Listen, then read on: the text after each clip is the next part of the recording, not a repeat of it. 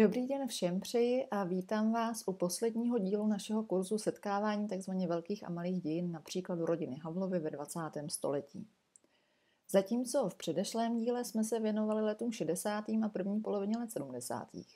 Dnes navážeme vlastně přesně tam, kde jsme minule skončili a budeme si povídat o tom, jak eh, se, jakými cestami se ubíral život, zejména tedy Václava a Ivana Havlových, potažmo eh, zbytku, zbytku rodiny. My jsme si minule říkali, že v roce 74-75 byl eh, již Ivan M. Havel spolu se svojí tehdejší manželkou Květou Havlovou eh, zpátky v Praze, zpátky v Československu. Ivan Havel pracoval v Československé akademii věd, s Květou Havlovou měl dvě děti. Václav Havel je v té době již tedy také, myslím, tuším, deset let ženatý, nicméně bezdětný, Povoláním je takzvaně spisovatelem na volné noze a v průběhu roku 1974 začíná pracovat v Trutnovském pivovaru jako pomocný dělník. Mohli bychom se tázat, proč. Ta první varianta vysvětlení, která by nás mohla napadnout, je, že potřeboval nějaké razítko do občanky a potřeboval mít nějaké zaměstnání. Nicméně zdá se z korespondence, jak o tom alespoň píše například Michal Žantovský, že ty důvody byly asi pravděpodobně jiné, že v té době ještě neměl problém eh, tohoto druhu. Naopak ale píše vlastně o finančních problémech, což je jako jedna strana mince. Na druhé straně ale je očividné, že po těch letech strávených vlastně jako v izolaci, jako zakázaný autor, jako někdo, kdo opravdu celá 60. léta, téměř celá, eh, konstantně vlastně prožil na vrcholu popularity a byl jeden z nejznámějších dramatiků, tak eh, tohleto, tohleto odloučení, tohleto izolaci prožívá velice špatně. A tu práci v Trudnovském pivovaru částečně bere taky jako takové jako prolomení této izolace, jo, prolomení té bariéry. Zároveň Žantovský vlastně i píše o tom, že se snaží možná vymanit z role toho prominentního spisovatele, toho právě, kdo ani nemusí pracovat. Jo, je to jasně jako možná i pro něj částečně jako přivídělek, částečně, eh, částečně eh, jakási změna atmosféry, změna prostředí, snaha o prolomení stereotypu, který v jeho, v jeho, v jeho případě eh, musel být opravdu jako skličující už v takhle dlouhé době. Ta Inspirace, kterou načerpal v Trutnovském pivováře, se samozřejmě naprosto zásadně propsala zejména do hry audience, což je první jeho jednoaktová hra, která, kterou napsal nebo vydal, no, zveřejnil v rámci svých možností zakázaného spisovatele v roce 1975. Jsou tam jenom dvě hlavní postavy. Jednou je Ferdinand Vaněk, což je jako takové vlastně, vlastně jako autobiografické stvárnění Václava Havla a druhý je Sládek toho pivovaru. A předpokládám, že vlastně u této hry je poměrně vysoká pravděpodobnost, že text eh, nebo stvárnění znáte. Nicméně, o čem vlastně ta hra je? Celá ta hra je vlastně jako dialog mezi hlavními dvěma postavami, mezi Vaňkem a mezi Sládkem. V podstatě, ale my si samozřejmě určitě pamatujeme některé, některé jako slavné hlášky, které už zlidověly a nebuďte smutnej, já nejsem smutný a tak dále. Nicméně v podstatě ta hra je vlastně o tom, že se Havel snaží jakoby přemostit tu propast mezi sebou, tady, v případě, tady v tom případě Ferdinandem Vaňkem, jako tím intelektuálem, tím, kdo je znám svými velmi kritickými postoji vůči tehdejšímu vládnoucímu režimu a vlastně tím jako v uvozovkách obyčejným člověkem, kterého tady stvárňuje pivova, pivovarský sládek. Jo, a ta hra je opravdu jako vlastně pozoruhodná v tom, že on se po těch letech v té izolaci jednak nechává zaměstnat teda v pivovaru, zároveň vlastně tady tu snahu jako o to nebýt v tom, nebýt v té izolaci toho prominentního spisovatele stvárňuje ještě, ještě v té hře. Zároveň eh, je na tom pozoruhodná ještě další věc. My jsme si pro 60. léta často říkali, že tahle hra čerpá z nějaké inspirace z rodiny, tady to zase čerpá z něčeho jiného, co bylo přítomné v rodině. Pro hry ze 70. let vlastně tohle to ustává. Jo, zdá se, že opravdu v těch 70. letech se Václav Havel inspiruje zejména svojí vlastní situací. A nějaké jako velké rodinné, nebo zjevné, jako očividné uh, rodinné inspirace tam vlastně příliš nenajdeme. Najdeme tam spíše, pří, pří, spíše právě ty autobiografické prvky, spíše ty motivy, které odkazují k jeho tehdejší každodenní situaci. Ta byla jaká? No ta byla právě taková, že dává smysl, že tam ty rodinné prvky nenajdeme, protože Havel tou dobou bydlel, bydlel zejména na Hrádečku, i vlastně Ivan M. Havel vzpomínal na to, že ty kontakty s ním byly daleko méně časté než právě v 60. letech, kdy bydleli spolu v jednom bytě. Jo, takže tady ta fyzická vzdálenost nám vlastně svým způsobem trošku promítá i do těch her Václava Havla ze 70. let. Nicméně eh, tady to vlastně jeho, eh, tato jeho inspirace tou každodenností jeho jakožto zakázaného spisovatele, který je znám svými nějakými, můžeme říct, jako kritickými postoji vůči vládnoucímu režimu. Vlastně je eh, přítomná i v dalších hrách právě z té doby. Ať už je to z roku 75 Vernisáž, nebo z roku 78 hra Protest. Vlastně v obou těch hrách, eh, obě jsou zaprvé jednoaktovky eh, a v obou těch hrách opravdu můžeme spatřit ty motivy zejména toho, jak se jeho postava vlastně vyrovnává s těmi lidmi, kteří nejsou stejní jako on. Jo, například ta vernisáž je vlastně o návštěvě u přátel, kteří mu ukazují, jak mají krásný byt a on sice jako říká, dobře, to, to, je, to je bezvadný, ale vlastně pro mě to není ta nejdůležitější priorita. Jo, jako teď to je hodně badálně řečeno, ale v podstatě eh, tohle to je klíčový pro ty hry. Jo, potom ještě teda v roce 76 napsal hru Horský hotel a ta byť je formátem jiná než ty jednoaktovky, tak vlastně splňuje to tež. Jo, tady skutečně nemůžeme hovořit o nějaké příliš jako silné rodinné inspiraci, ty jsou zejména autobiografické a zejména nějakým způsobem jako pracují s tou jeho každodenností toho zakázaného spisovatele v této době. Nicméně tím protestem z roku 78 jsme teda jako dost předběhli. protože musíme se vlastně vrátit zpátky do pivovaru. musíme se vrátit zpátky, respektive do audience k audienci. Musíme se vrátit zpátky do roku 75. On tu hru napsal, zdá se, jako těsně po ukončení svého angažma v pivovaru, které tady trvalo jako v zásadě celý rok 1974, na začátku roku 75 napsal audienci a podle všech zdrojů se zdá, že ji spíš myslel jako legraci. Jo, že to nebyla prostě nějaká eh, jako dlouho připravovaná velkohra, což je očividné z toho, že je to jednoaktovka, to znamená, že má jedno dějství, ale setkala se samozřejmě jako mezi jeho přáteli s naprosto enormním úspěchem, co se týče jako té, té humorné stránky.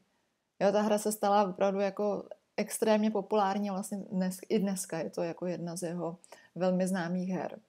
A zdá se, že jednak ta zkušenost toho pivovaru, jednak asi možná i úspěch té hry, nebo vůbec jako dobrý pocit z toho, že se mu nějaká hra povedla.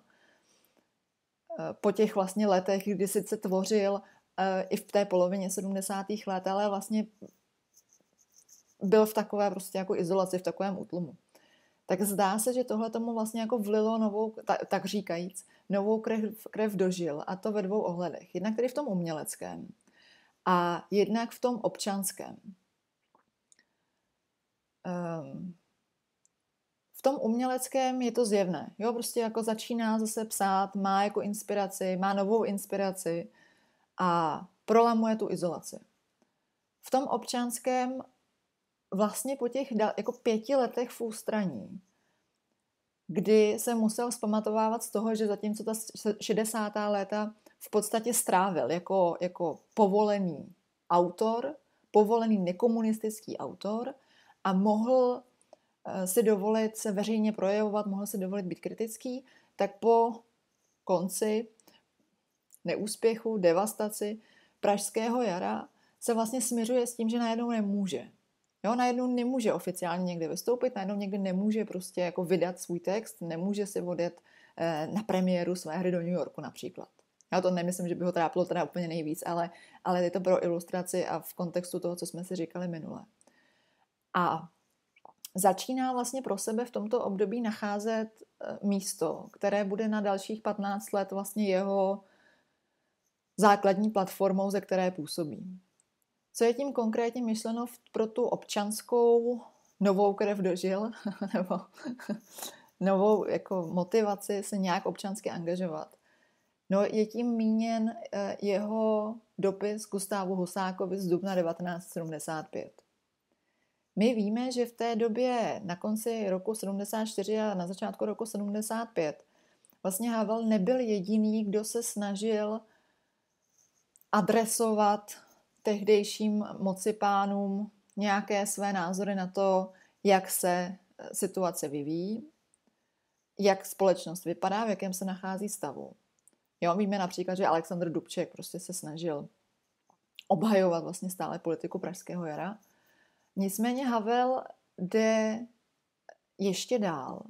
A Havel prostě píše dopis Gustávu Husákovi a v tomto dopise se snaží v podstatě tehdejšímu generálnímu tajemníkovi vysvětlit, jaký je skutečný stav ve společnosti.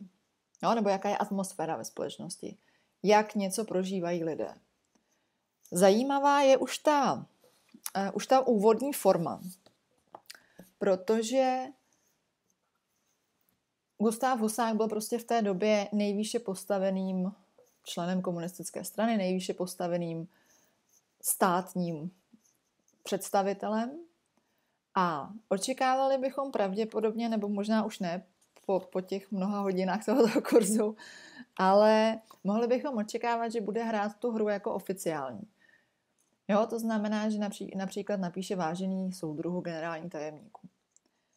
Co ale píše Václav Havel, který vyrostl prostě v zásadě dost jednoznačně nekomunistické rodině, který prostě nikdy nelavíroval mezi tím, jako stát se členem strany, nestát se členem strany, co mi to přinese, co mi to naopak veme. No Václav Havel samozřejmě už v této době, a teď budu opět tady citovat ze spisů, tuto hru ani neskouší hrát a rovnou píše, vážený pane doktore, jo, už v tom je pozoruhodný vlastně ten, ten jako jeho odstup. A co nebylo řečeno vlastně v těch úvodních hodinách, když jsem zmiňovala Huga Vavrečku, jeho dědečka, když na začátku roku 49 uh, eh, vlastně se snažil požádat jako o milost tehdejšího prezidenta Klementa Gottwalda, tak eh, ten mu stejně, jako vlastně jeho vnuk po, po, další, po, po mnoha dalších desítkách let, také neříká vážený soudruhu, ale říká mu prostě vážený pane, pane prezidente. Jo, takže vlastně i na tady tom drobném detailu, jako je oslovení, můžeme částečně vidět, eh, že je vlastně jako konzistentní ta odtažitost vůči té komunistické ideologii v, rodině a není tam vůbec žádná snaha jako přistoupit vlastně jako na tu hru. Což, eh, což samozřejmě říkám svědomím toho, že je to velmi, eh, velmi zjednodušené. Nicméně, co teda píše tomu Husákovi? Předpokládám, že možná dopis Gustavu Husákovi všichni znáte, nebo aspoň většina z vás. Kdo však nikoliv, eh, dovolím si vlastně zase část ocitovat, protože zrovna tyto dobové texty jsou dle mého názoru opravdu jako podstatné pro pochopení eh, i tohoto kurzu. Tedy cituji. Vážený pane doktore, v našich závodech a úřadech se ukázaně pracuje, práce občanů má viditelné výsledky ve zvolna se zvyšující životní úrovni, lidé se staví domy, kupují auta, plodí děti, baví se, žijí.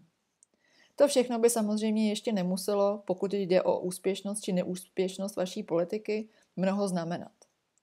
Po každém společenském rozruchu se lidé vždycky nakonec vrátí ke každodenní práci, protože prostě chtějí žít. Dělají to konec konců kvůli sobě a ne kvůli tomu či onomu státnímu vedení.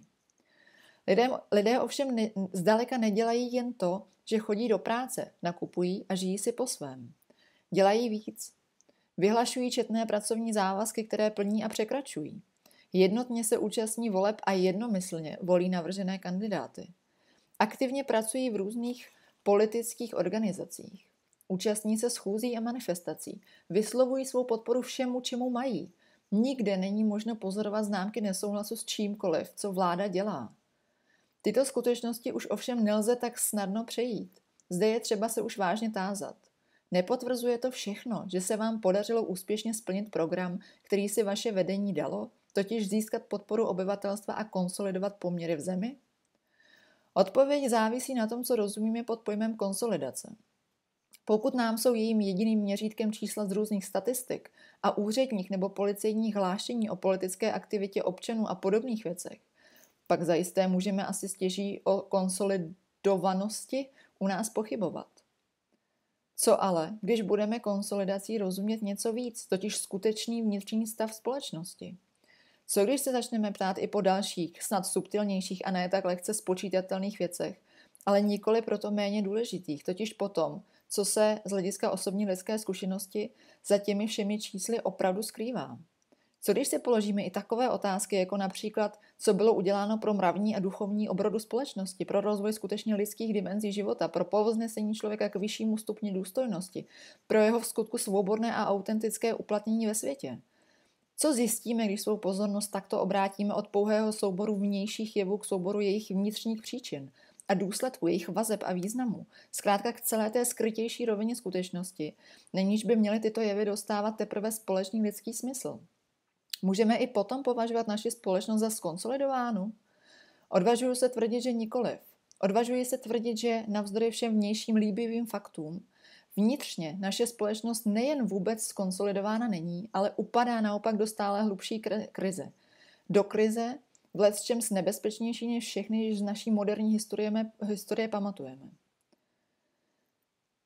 Pokusím se toto své tvrzení doložit. Konec citátu. A pokračuje vlastně výčtem toho, proč se domnívá, že to, co tvrdí strana a vláda, je lež a proč společnost rozhodně není v dobrém stavu. Jo, on říká, vlastně ten, ten základní problém prostě je ten, že lidé mají strach. Oni se bojí vyjádřit nesouhlas, bojí se vyjádřit nespokojenost, nechtějí riskovat znova něco a mají strach. A občanstvo, které má strach, prostě pochopitelně jako v dobrém stavu není. Tak, to je, to je dopis Gustavu Hosákovi. A tím vlastně Havel opravdu jako prolamuje to několika leté mlčení. A prolamuje ho tedy nejenom hrou audience, nejenom teda jako předchozím vystoupením z té své klauzury do, pivova, do, do pivovaru, a nejenom dopisem generálnímu tajemníkovi, kde mu vlastně jako říká, že to, co on tvrdí, je lež, ale zároveň vlastně se začíná angažovat ještě na širším poli, než je vlastně jako jeho čistě individuální eh, perspektiva. Co je tím míněno? Rok 75 je totiž rokem, kdy skutečně ty jeho aktivity v podstatě všechny vznikají v roce 75. Je to opravdu jako odrazový můstek pro všechno, co bude dělat dalších 15 let. Respektive, když to vezmeme i s tím potom, tak možná, že to je prostě odrazový můstek pro celé jeho další životní směřování. A konkrétně třeba v dubnu 75, to znamená v té samé době, kdy vydává dopis Husák, eh, kdy posílá dopis Husákovi, zakládá samizdatovou edici Expedice spolu s Daňou Horákovou. Již tehdy existovala, existovaly různé samizdatové edice, ta nejznámější a zároveň nej, výkonnější co na počet titulů byla bez pochyby pravděpodobně Petlice Ludvíka Vaculíka a Havel se tím vlastně snaží přispět do, eh, do toho, aby se mohl, eh, snaží se přispět k tomu, aby mohli občané číst vlastně zakázané texty, jo, nebo nepovolené texty, texty, které by prostě nemohly být oficiálně, tak vznikají v samizdatu, vznikají tak jako své pomocí vznikají vlastně jako paralelně a nikoli v, eh, v oficiálních, eh, oficiálních nakladatelstvích. Jo, takže, takže opravdu jako rok, už první polovina roku 75 je, je pro něj opravdu jako úplně, úplně zásadní změna oproti tomu, co prožíval v první polovině 70. let. Celé to graduje v listopadu 75 kdy se jeho kamarád Andrej Krop, což byl zároveň divadelník a zároveň jeho soused z Hrádečku, díky kterému Havel vůbec Hrádeček koupil, tak se rozhoduje inscenovat jeho uh, hru Žebrácká opera. Tato inscenace samozřejmě nebyla povolená, nemohla se udát nikde jako oficiálně v nějakém divadle. My víme, že, ta pre, že, že premiéru měla ta inscenace v Horních Počernících v listopadu 75. A zpětně viděno, je to pamětníky často chápano jako taková, taková jako ustavující schůze českého nebo československého dizentu. E, proč? Protože, protože se tam vlastně sešli lidé, kteří potom v dalších letech budou velice aktivní v nějakém dizidentském hnutí. Zároveň, protože už na základě toho, že se účastnili soukromé akce, jako bylo divadelní představení, tam skutečně jako většinou se sešli hlavně jako přátelé, kteří se znali navzájem, nikdo jako z veřejnosti, kdo by ani netušil, e, oč se jedná, tam pravděpodobně nebyl. E, tak přesto se vlastně ta účast samotná stala záminkou k výslechu, k vyhazům z práce, zabavováním řidičských průkazů a tak dále a tak dále. Jo, a Havel vlastně v tom roce 75 vstupuje do tohoto světa, zároveň ho vlastně zásadním způsobem spolu utváří. A celé se to prohloubí ještě o rok později, v roce 76, kdy tento jeho vstup už nabere pro nás až téměř jako dějinotvorných rozměrů, protože se zároveň seznamuje s Magorem. Seznamuje se s Ivanem Martinem Jirousem, zvaný Magor, a můžeme zpětně viděno, v té době si toho pravděpodobně ani jeden z pánů nebyl vědom, ale zpětně viděno, my můžeme říct, že se schází dva světy, schází se ten formující se dizent a schází se tehdejší kulturní underground. Jo? To, pokud známe oba pány, jako pokud si umíme jenom aspoň vizuálně představit oba pány, tak je očividné, že se trochu schází dva velmi odlišné, ne velmi odlišné, ale odlišné světy o tom, jak vlastně oba vzpomínají na to vzájemné seznámení. Popisuje mimo jiné právě Martince Putna ve své knize o Václavu Havlovi. A já si dovolím vlastně jenom schrnout dojmy Václava Havla, protože ten právě v dálkovém výslechu z roku 86 eh, popisuje, která to bylo, která to bylo pro něj zajímavé, zvláštní setkání a vlastně Magor a jeho parta si ho získali právě tím, když si uvědomil, že ta hudba, kterou dělají, je vlastně v něčem autentická. Jo? Je, je prostě, jako je rizí, je syrová, je autentická, může jí věřit, není to přetvářka, je to prostě jako pro ně jako významný právě z tohohle ohledu. Pro Magora to možná bylo ještě o něco těžší, protože on byl vlastně jako z nich dvou ten bouřlivák. Jo, Václav Havel byl prostě v 60. letech povolený autor, zároveň svým chováním i svým zjevem, vzhledem byl takový jako uměřený, slušný mladý muž, který plně příliš si ho, jsme si ho tehdy neuměli asi představit, že by třeba mluvil zprostě nebo byl obhroublý nebo tak. Ivan Martin Jirous naproti tomu často vystupoval jako bouřlivák, jako rebel, a úplně moc si nebral servítky. A vlastně to, že právě Havel byl vlastně v 60. letech ten establishment, bylo pro partu jeho přátel problém. A v pravdivém příběhu Plastic People z roku 84 právě Magor vzpomínal. Někdy v březnu 76 mi řekl František Šmejkal. Chtěl by se s tebou seznámit Václav Havel. Slyšel, že jste prej sektáři, tak jsem ho ujistil, že jste, ale že se tě zeptám. Svěřil jsem se Daně, že se chci setkat s Havlem. Varovala mě. Dej si pozor, Havel hraje svou hru. Já hraju taky svou hru, Dano. Až nás zavřou, tak tihle lidi budou jediní, kteří se nás můžou zastat. Konec citátu. No, Magor měl samozřejmě dobrý odhad. Víme, že vlastně on a parta, se kterou tady vlastně pořád eh, operuji a nepředstavila se mi, to znamená členové kapely Plastic People of the Universe, poměrně záhy byli eh, popotahováni. Konkrétně v roce 76 eh, proběhl takzvaný proces z plastiky. O co se jednalo? Jednalo se o to, že komunistická policie zatkla členy skupiny a několik dalších představitelů kulturního undergroundu – a postavila je před soud kvůli údajnému výtržnictví. Většina lidí byla nakonec propuštěná, nicméně eh, saxofonista Vráťa Brabenec byl nakonec odsouzen k osmi měsícům odnětí svobody a právě Magor, jakožto ten manažer nebo ten umělecký šéf Plastic People of the Universe, eh, odešel dokonce s 18-měsíčním trestem. Takže tenhle proces se vlastně stává eh, klíčovým momentem ve formování právě těch, eh, toho spojení to Undergroundu, zároveň toho spojení Havel-Magor. Jo, Havel vlastně, nejenom Havel, ale mimo jiné i Václav Havel, přispívá k tomu, že se na obranu plastiků staví i lidé, kteří by normálně asi jinak jejich hudbu neposlouchali, na jejich koncerty by asi nechodili. Kdo je tím míněn? Je tím míněn například profesor Jan Patočka, jo, který byť eh, je očividné, že zrovna jako jeho hudební vkus je asi trochu jiný, tak vlastně se staví za to, co říkal Havel už na začátku. To znamená to, že je to jako autentický projev a mají právo na to se projevovat, jak chtějí. Mají právo, nebo mají být, mít právo na to být svobodní. Jo, a my víme, že tady ten proces s plastikama a zejména teda ta podpora, které, která eh, se na jejich obranu vlastně jako v tom období vyrojila, je jeden z klíčových momentů vzniku jedné významné iniciativy a tou iniciativou je samozřejmě Charta 77.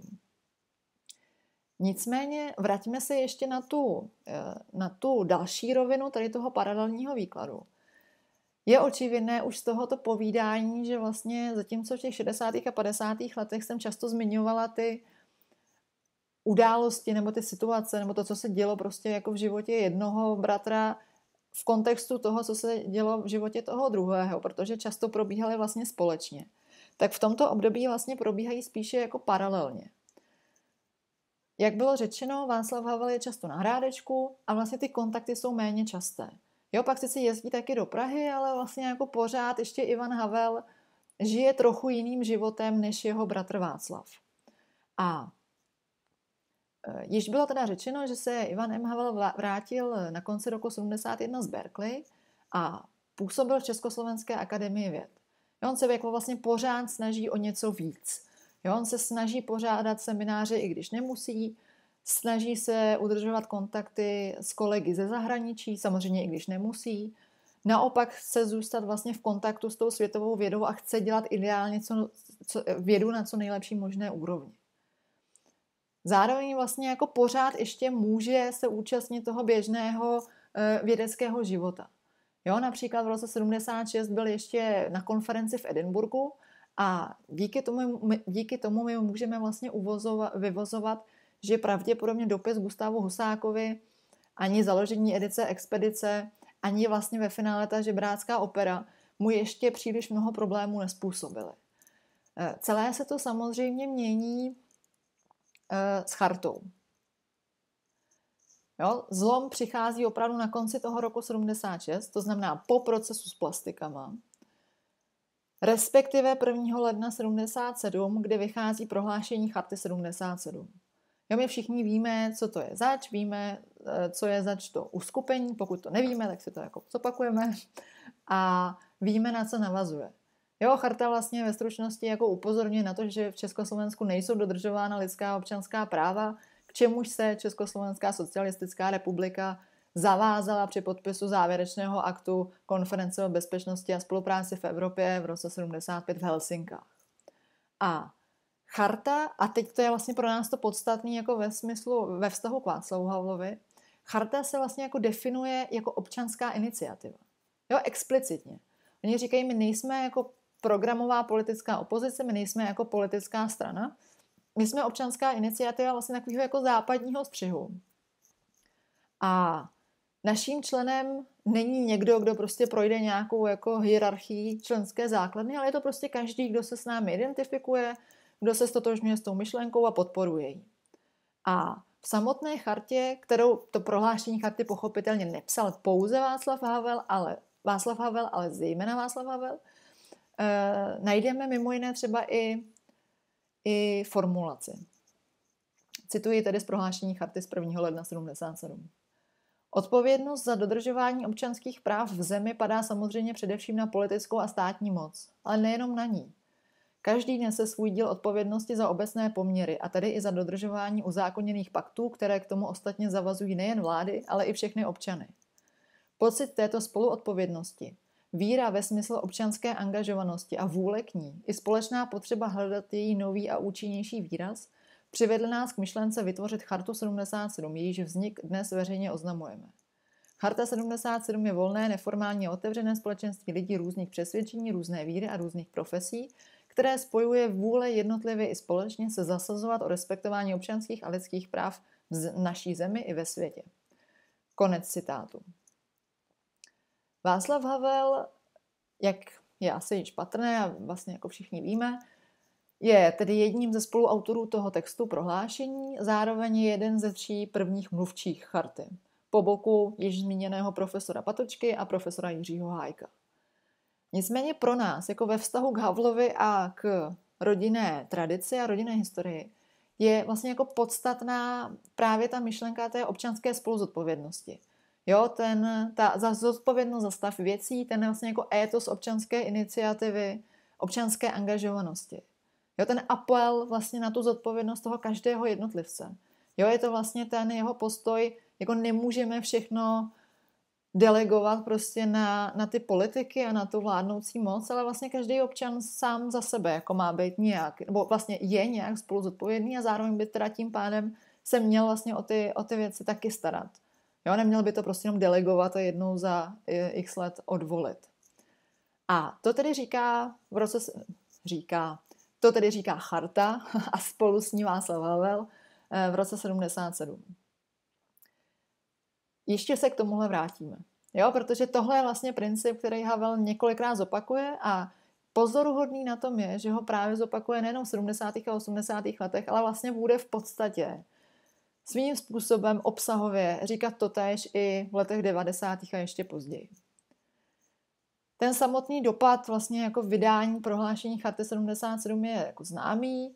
My víme, že první mluvčí a signatáři byli okamžitě zadrženi a vyslýcháni. Profesor Patočka dokonce na následky těch dlouhých výslechů eh, v březnu 77 zemřel. A Václav Havel byl vybrán vlastně jako jeden takový exemplární příklad, případ. Jo? Jiří Suk popisuje, která samozřejmě komunistická moc se snažila jako nějak eh, ho dostat eh, do vězení, nějak ho prostě jako persekuovat, zároveň prostě podpis pod prohlášením ještě nebyl úplně jako dobrá, jako dostatečně validní záminka pro to, takže ho narychlo obvinili z toho, že dodával texty pařížskému svědectví Pavla Tigrida, nezákonně, nepovoleně zakázané texty. A díky tomu byl tedy od poloviny ledna do května 77 Havel ve vazbě. A toto období je vlastně pro nás naprosto zásadním způsobem klíčový pro pochopení Václava Havla nebo respektive jeho činnosti v následujících letech.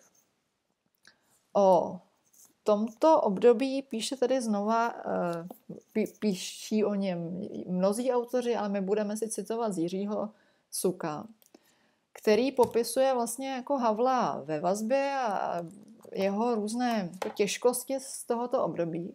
Zároveň je vlastně potřeba upozornit, že to bylo první uvěznění, takhle dlouhé uvěznění ještě navíc Václava Havla, respektive vazba, ale prostě jako zadržení eh, v celé. A Havel se s tím směřoval těžce a prožíval tam očividně jako krizi. A uchýlil se vlastně k něčemu, co mu potom bude už pořád vstupovat do dalších jeho rozhodnutí, co potom bude hrát strašně velký vliv eh, v jeho další činnosti. Z toho důvodu si tedy dovolím opět uh, ocitovat uh, z Jiřího Suka. Po zatčení byl u protokolovaného výslech, výslechu každý den. Poté frekvence klesala a ustálila se na týdenní periodicitě. V únoru byl vyslýchán celkem čtyřikrát, v březnu už jen třikrát. Mezitím se ovšem konaly další vyšetřovací úkony, především informativní výslechy. Kolik jich bylo, není ze, ze spisu jasné. Havel nevěděl nic o spoluobviněných, nic o stavu, v jakém se po zběsilé kampani a persekucích nachází charta a její lidé. Novinky znal jen ze zglajšaltovaného denního tisku. Byl dokonale izolován od pravdivých informací. Dopisy a pohlednice od přátel mu nebyly předávány. s manželkou Olgou směl při její první návštěvě 25. března, to už byl izolován dva a půl měsíce, mluvit jen o rodinných věcech. Rozhovor byl odposloucháván, přepsán, analyzován z hlediska předpokládaných zašifrovaných vzkazů, avšak žádné nebyly odhaleny. Je přirozené, že na něj dolehla velká tíceň a deprese. Vyšetřovateli se svěřil, že postrádá tvořivou náplň, která by mu pomohla zahnat depresivní stavy a pocity beznaděje a bezcílnosti. Ponižoval ho, že si s takovými stavy neumí poradit bez antidepresiv, které mu předepsal vězeňský lékař. Věznitelům dělal jeho psychický stav velkou radost. Dával zapomenout na chabé výsledky podrobného vyslýchání. Začali přemýšlet, jak toho nejlépe využít. Posloužil jim dopis generálnímu prokurátorovi, který Havel napsal 6. dubna v ruzínské izolaci a v němž znovu požádal o propuštění z vazby k 15. dubnu. Pokusil se ho přesvědčit, že vypovídal spontánně a pravdivě, že všechny jeho výpovědi byly v souladu s výpověďmi ostatních obviněných či s jinými důkazy nebo informacemi. Že nemá co skrývat, neboť jeho aktivity, pro které je vyšetřován, jsou veřejné.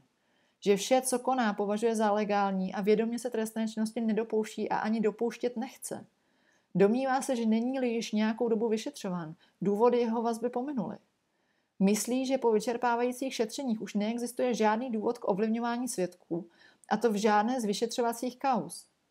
Dopis Husákovi, odeslání drtinových pamětí do zahraničí Charta 77. Klíč k ponížení a zhanobení mluvčího charty nalezli vyšetřovatelé v další části dopisu. Citace Václava Havla. Nabízím vám tímto dopisem svou závaznou záruku, že se v případě propuštění z vazby vyvarují veškeré činnosti, která by mohla být kvalifikována jako trestná. Zkušenost tříměsíčního vyšetřování, vyšetřování mne přivedla k poznání, že často čin upřímně míněný jako legální se snadno může dík neuvážené formě anebo dík dalším okolnostem, například tendenční interpretace zahraničního tisku, stát činem, který je možno chápat jako čin trestný. Na základě tohoto poznání, ale i z jiných důvodů, jsem se rozhodl, že bych se v případě propuštění z vazby přestal veřejně politicky projevovat. Především v zahraničních sdělovacích prostředcích a že bych se soustředil, tak jako v letech 69 až 75, pouze na svou uměleckou tvorbu, kterou považuji za své hlavní životní poslání. Své základní názory člověk ze dne na den nezmění a ani já nechci předstírat, že jsem změnil některé své kritické názory na určité jevy našeho společenského života. Uvědomil jsem si však, že existují konstruktivnější způsoby, jak je uplatnit, než byly některé z těch, které jsem volil v minulosti. A uvědomil jsem si, že když už člověk pocítí potřebu svůj kritický názor uplatnit, musí postupovat odpovědně a realisticky a vyvarovat se nebezpečí pouhých manifestačních gest, která snadno mohou zneužít právě ty síly, s nimiž nemá ve skutečnosti nic společného a o jejichž podporu stojí ze všeho nejméně. Byl bych rád, abyste mi věřil, že toto, rozho- že toto mé rozhodnutí nepramení jen z touhy být propuštěn z vazby a nezhoršovat nadále svou situaci, ale že mám důvody principiálnější, vyplývající ze zásadních úvah o mém osobním postavení ve společnosti jako občana a spisovatele. Konec citátu. Tak, tady vlastně vidíme, jak zásadním způsobem na něj vazba dolehla. Jo, jsme tady na jaře 1977 a zároveň vidíme, že ta izolace a to, že nemá vůbec žádné zprávy o tom, co se děje v době těsně vlastně po vydání charty, co se děje s ostatními jeho přáteli a, a signatáři toho prohlášení. Na něj vlastně působí naprosto jako zásadním způsobem negativně a vlastně uchyluje se až k tomu, že slibuje, že už se nebude veřejně projevovat. To pochopitelně komunistická moc s radostí zneužila, využila a venku, to znamená na svobodě, se začaly šířit eh, mýty o tom, která Václav Havel se distancuje od charty, která zradil chartu a tak dále a tak dále. A Havel se dostává nakonec v květnu 77 z vězení. A ve chvíli, kdy se to dozvídá, tak samozřejmě jako je volí mezi dvěma možnostmi. Buď dodržet ten slib, který jsme, eh, který jsme slyšeli, to znamená, že už se prostě nebude veřejně angažovat a bude prostě jenom sedět na hrádečku a psát hry, a nebo udělá opak a pokusí se vlastně jako jednak vysvětlit prostě jako za jakých okolností tohle udělal, nebo o co konkrétně vlastně vůbec šlo a v jaké situaci to tak bylo a pokusí se to ze svého pohledu jako nějak odčinit. Jo? Pokusí se to nějak napravit, pokusí se znovu získat důvěru těch lidí. co udělal Václav Havel, všichni víme. Eh, zvolil druhou variantu. Jo? A e, ta druhá varianta, to znamená to, že on to velmi kryt, sebekriticky vlastně e, i potom v dalších textech vlastně reflektuje a interpretuje jako svoje vlastní osobní selhání. Jo, jako vlastní prostě jako úplnou zradu prostě na chartě 77. Tak vlastně tady ten motiv jako toho, teď to potřebuju odčinit.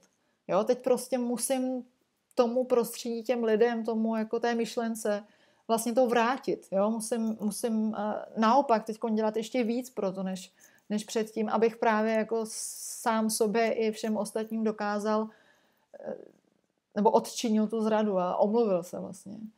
Tak to samozřejmě zásadním způsobem ovlivňuje jeho další činnost. On se vlastně jako vrhá vlastně do té dizidentské práce.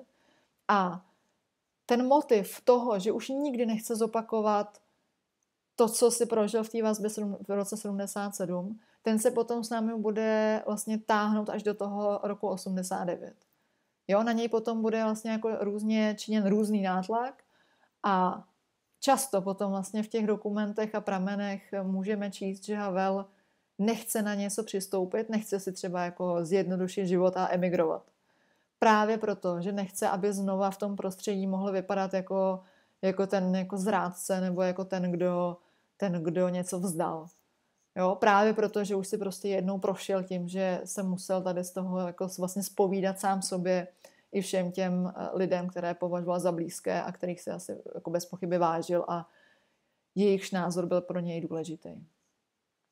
Jo, takže to je naprosto jako vlastně klíčový období pro Václava Havla od toho roku 75 do toho jara, nebo respektive prostě do roku 77 kdy v 75. on jako prolamuje vlastně tu izolaci, prolamuje tu klauzuru toho hrádečku a vrhá se vlastně znova do nějakého veřejného života, byť už úplně jinak než v 60. letech, jako, ne, jako zakázaný spisovatel. Až do toho roku 77, kdy vlastně jako vystupuje eh, jako jeden z před, hlavních představitelů vlastně jako kvazi opoziční uh, síly v Československu, to znamená Charty 77, která sice nechce být politickou programovou opozicí, chce být občanskou iniciativou, ale pochopitelně mm, jako je s ním nakládáno jako s potenciálním prostě nepřítelem. Že jo.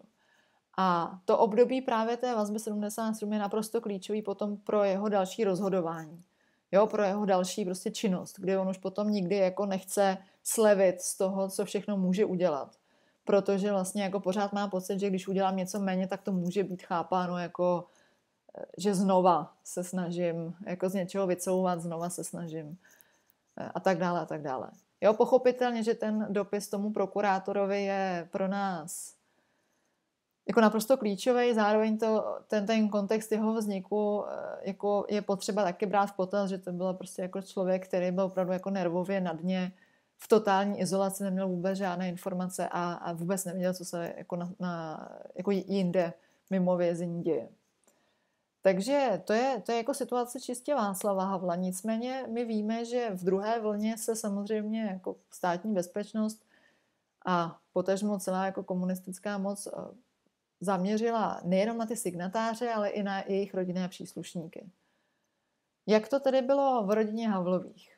Je potřeba říci, že v této první vlně byl Václav Havel jediný signatář z celé rodiny, což minimálně třeba pro Ivana M. Havla vyplývá z toho, že On sice věděl o tom, že prohlášení charty vzniká, věděl, že to podle jeho bratra má být tak trochu jako po nakloněné rovině, ale zároveň ho jeho bratr instruoval, aby to prohlášení nepodepisoval, aby alespoň někdo v rodině zůstal čistý. Jo, takže z toho ohledu lze eh, jako nazírat i to, že Ivan Havel vlastně chartu nepodepsal nikdy. On sám říká, že nejdřív by to musel podepsat na začátku, tomu vlastně jako bratr ne zakázal, ale jako eh, nedoporučil. A potom podepisovat to už později eh, vlastně jako mu přišlo nevhodný. Zároveň i třeba Olga Havlová podepsala chartu v roce 82. Jo, je tam očividný, že vlastně ta rodina se snažila eh, myslet dopředu a zajistit alespoň vlastně jako chod rodiny a trochu ideálně jako sejmout tu, tu případnou nepřízeň komunistické moci z ostatních členů rodiny právě tím, že jako nebudou mezi těmi signatáři. No pochopitelně jako bez pochyby to, to byla jako správná úvaha, nicméně po čase se samozřejmě právě v té druhé vlně STB začala zaměřovat i na rodinné příslušníky a Ivan M. Havel eh, tím pádem se stává také jedním z vyšetřovaných eh, lidí. Jo, na začátku roku 77 je eh, na něj vlastně založen jeho osobní spis a je samozřejmě potřeba říci, že jednak je Ivan M. Havel vyslýchán, potom různě tajně sledován, ale jako v menší míře. A samozřejmě zejména jakoby ty zprávy k jeho osobě pocházejí od tajných spolupracovníků, z nichž jako někteří nebo respektive eh, ze začátku vlastně mnozí byli i eh, lidé, kteří vlastně patřili k jeho okruhu blízkých přátel už třeba jako eh, dlouhá léta. Jo, nicméně je z toho očividný, že zatímco dopis Gustavu Husákovi vlastně Ivanu M. Havlovi ještě žádnou, žádné, žádné velké problémy v práci nespůsobil, tak zájem STB už jako jo. A v Ústavu teorie a inform, informace a automatizace v Československé akademii věd právě tím rokem 77 pro Ivana M. Havla začíná dvouleté období takového lavírování toho, co tady bude. Jo, jako to vedení toho ústavu pochopitelně jako úplně nevítá to, že jeden z jeho zaměstnanců je bratr prvního ze tří mluvčích charty 77 a že tam prostě jako se na něj chodí ptát STB. A byť se mu snaží jako různě pomáhat a snaží se ho různě podporovat, tak zároveň prostě nejsou, eh, nejsou jediní, kdo o tom rozhoduje. A dva roky se různě prostě začíná eh, lavírovat mezi tím, jestli tady může zůstat nebo nemůže zůstat. Jo, každopádně v tomhle období uh, Ivan M. Havel pořád ještě práci ve vědeckém ústavu má. V květnu 77 se tedy Václav Havel vrací z vazby a okamžitě se zapojuje prostě do toho rezidentského života. Jo, on pořádá na Hrádečku prostě festival druhé hudební kultury, což je právě jako uh, souvisí s tím navázáním kontaktu vlastně s plastikama skrze Magora, potažmo k československému kulturnímu undergroundu. A o rok později, v dubnu 78, spolu zakládá takzvaný VONS, to je výbor na obranu nespravedlivě stíhaných. Zároveň v tom samém roce píše svůj nejznámější esej Moc bezmocných, která vlastně, pod, která vlastně jako podobně jako dopis Husákovi reflektuje tu atmosféru ve společnosti a přichází s tím slavným příkladem zelináře Eh, který vyvěšuje prostě nápisy na, na svůj obchod, přestože vlastně s nima nějak nesouhlasí a nějak se s nima nestotožňuje a dělá to spíše, spíše z toho důvodu eh, takového toho, ono se to dělá, ono se to čeká, tak to udělám taky. Proč to neudělám? Protože mám strach, jako, že by se něco mohlo stát, kdybych to neudělal. Jo, a je to vlastně ta jeho asi nejznámější esej, kde zároveň eh, vytyčuje vlastně ten eh, rozdíl a ten kontrast mezi tím životem ve lži a životem v pravdě. Jo, to je ten slavný prostě jako Havlův koncept, který není pochopitelně jenom Havlův, ale prostě je inspirován mnoha jinými mysliteli a eh, je to vlastně to, co nám moc bezmocných také jako také vlastně jako přináší. Jo, je to ten rok 70, 78. Nebudu už tady jako příliš dlouho ještě protahovat, nebudu už číst jako ze zelenáře, ale doporučuji vlastně svou moc bezmocných určitě ještě k přečtení. Zlom vlastně jako v tom v tomhle období přichází další v roce 79 a tentokrát vlastně tedy pro oba bratry. Jo, jako to období 75-77 bylo vlastně jako klíčový, zejména pro Václava Havla v tom smyslu, jako eh, v tom kontextu, ve kterém tady se bavíme. 79. rok je vlastně klíčový pro oba, protože za prvé na jedné straně Václav Havel je už od konce roku 78 v domácím vězení, půl roku. A stejně jako na jeho bratra, tak i na něj je činěn velmi, velmi silný nátlak, aby v rámci akce Asanace emigrovali. No, aby prostě opustili Československo. Je jim různě znepříjemňován život, různě jsou perzekováni a vlastně tou, tím, tím hlavním cílem je ne jako dostat do vězení, ale donutit je k tomu, aby emigrovali. Jo, v obou vlastně typech, nebo v, v pramenech k oběma, oběma, osobnostmi, oběma osobnostem najdeme právě pokyny k tomu, jako ještě zvyšte nátlak, prostě chceme je dostat ze země, stručně řečeno. Jo, vzhledem k tomu, že oni se nerozhodnou pro emigraci, tak musí vlastně dát čelit té persekuci v Československu. Konkrétně, oč se jedná, eh, jedná se samozřejmě o druhý známý, jako často zmiňovaný proces, to znamená o proces s Voncem, právě s tím výborem na obranu nespravedlivě stíhaných, kdy Václav Havel je tedy od května 79 ve vazbě a v říjnu 79 je odsouzen právě v procesu se členy Voncu eh, a to na 4,5 roku za podvracení republiky. Spolu s ním byli odsouzeni například Petr Úl, Jiří Dinsmír, Václav Bende, Dana Němcová a další lidé. A Václav Havel se tak dostává na 4,5 roku do vězení.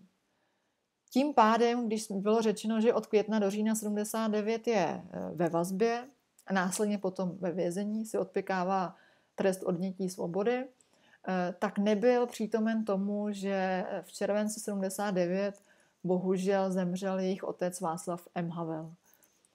Jo, on vlastně jako po celou dobu těch, do, do, po celou dobu 70. let vlastně žil se svými syny, eh, žil na nábřeží, jezdil k eh, Václavu Havlovi na Hrádeček a psal své paměti. To jsou ty mé vzpomínky, jako na kterých byly tady postaveny asi tři, tři úvodní hodiny v podstatě.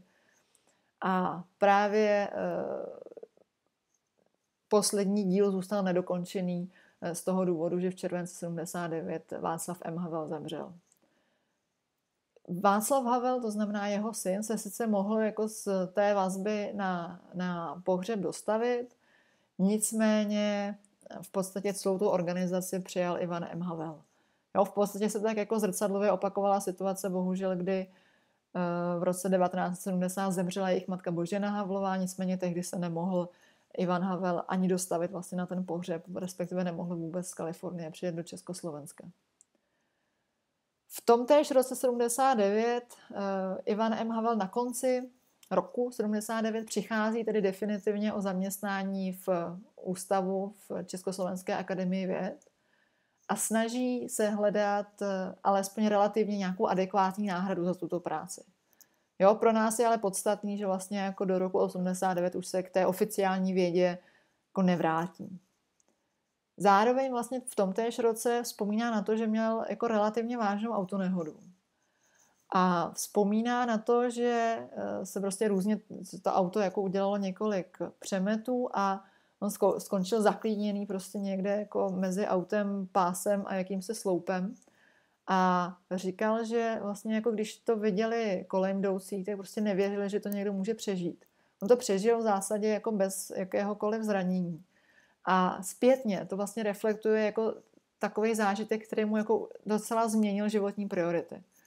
Jo, takže zatímco na té veřejné úrovni, na té úrovni opravdu jako veřejného vystupování a, a vlastně jako komunikace s nějakými oficiálními institucemi, ty změny v jejich životě jsou dobře známé, protože víme, co byla charta, víme, co byl dopis Husákovi, víme, jaké byly následky charty, podpisu charty a tak dále. Eh, tak tohle je vlastně ještě jeden vliv, který k tomu přispívá, kdy on říká, mě se vlastně jako změnil trošku pohled na svět. Jo, a všechno se to vlastně událo v tom roce 79.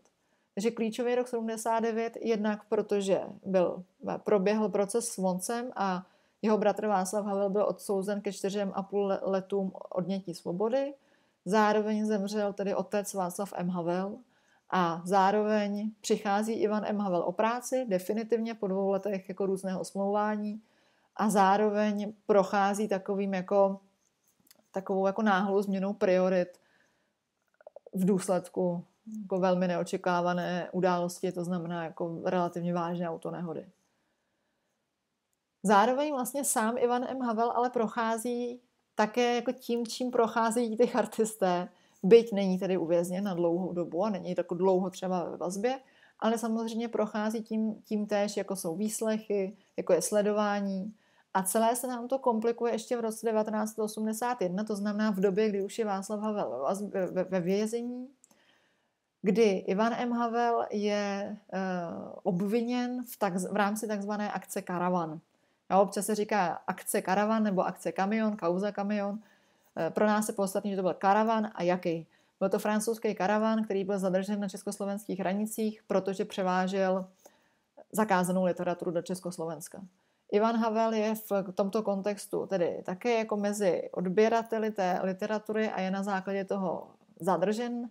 Nakonec je zadržen na čtyři dny, to znamená po čtyřech dnech ho propustí.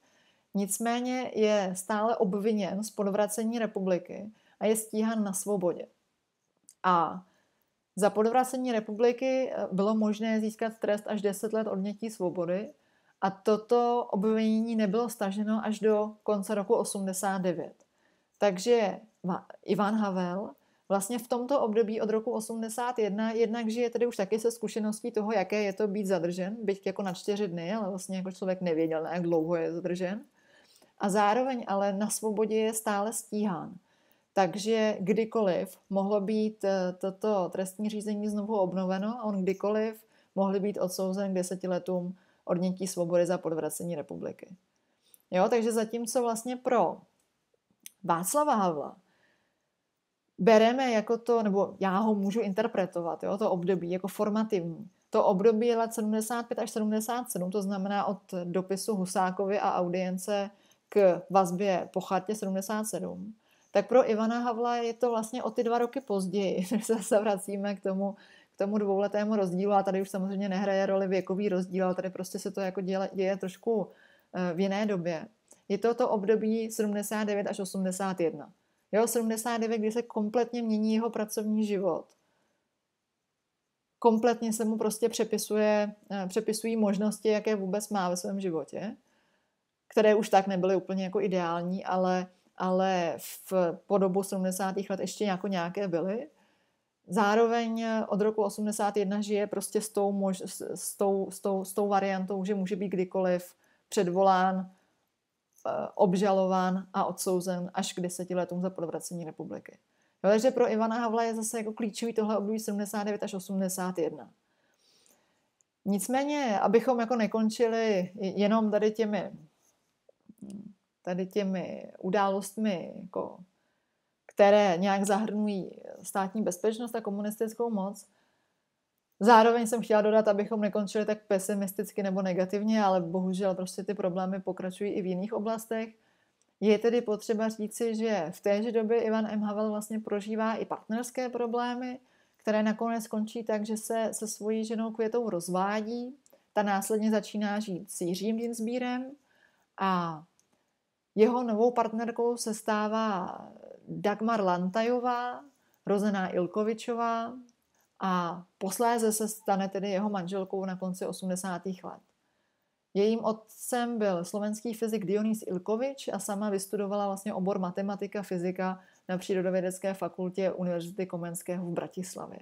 Jo, a s Ivanem Havlem se právě seznámila jako skrze vědeckou práci a e, zároveň tedy potom jako posléze ten jejich vztah přerostl i eh, v partnerský vztah. Takže to je vlastně jako tohle období pro oba bratry. Jo, když to vezmeme jako od, od toho roku 75 až 79, tak skutečně jako se eh, o tom dá hovořit dlouhé hodiny a hodiny. Pro Ivana Havla ještě klíčový vlastně ten rok 81, kdy je stále ještě stíhan na svobodě za podvracení republiky.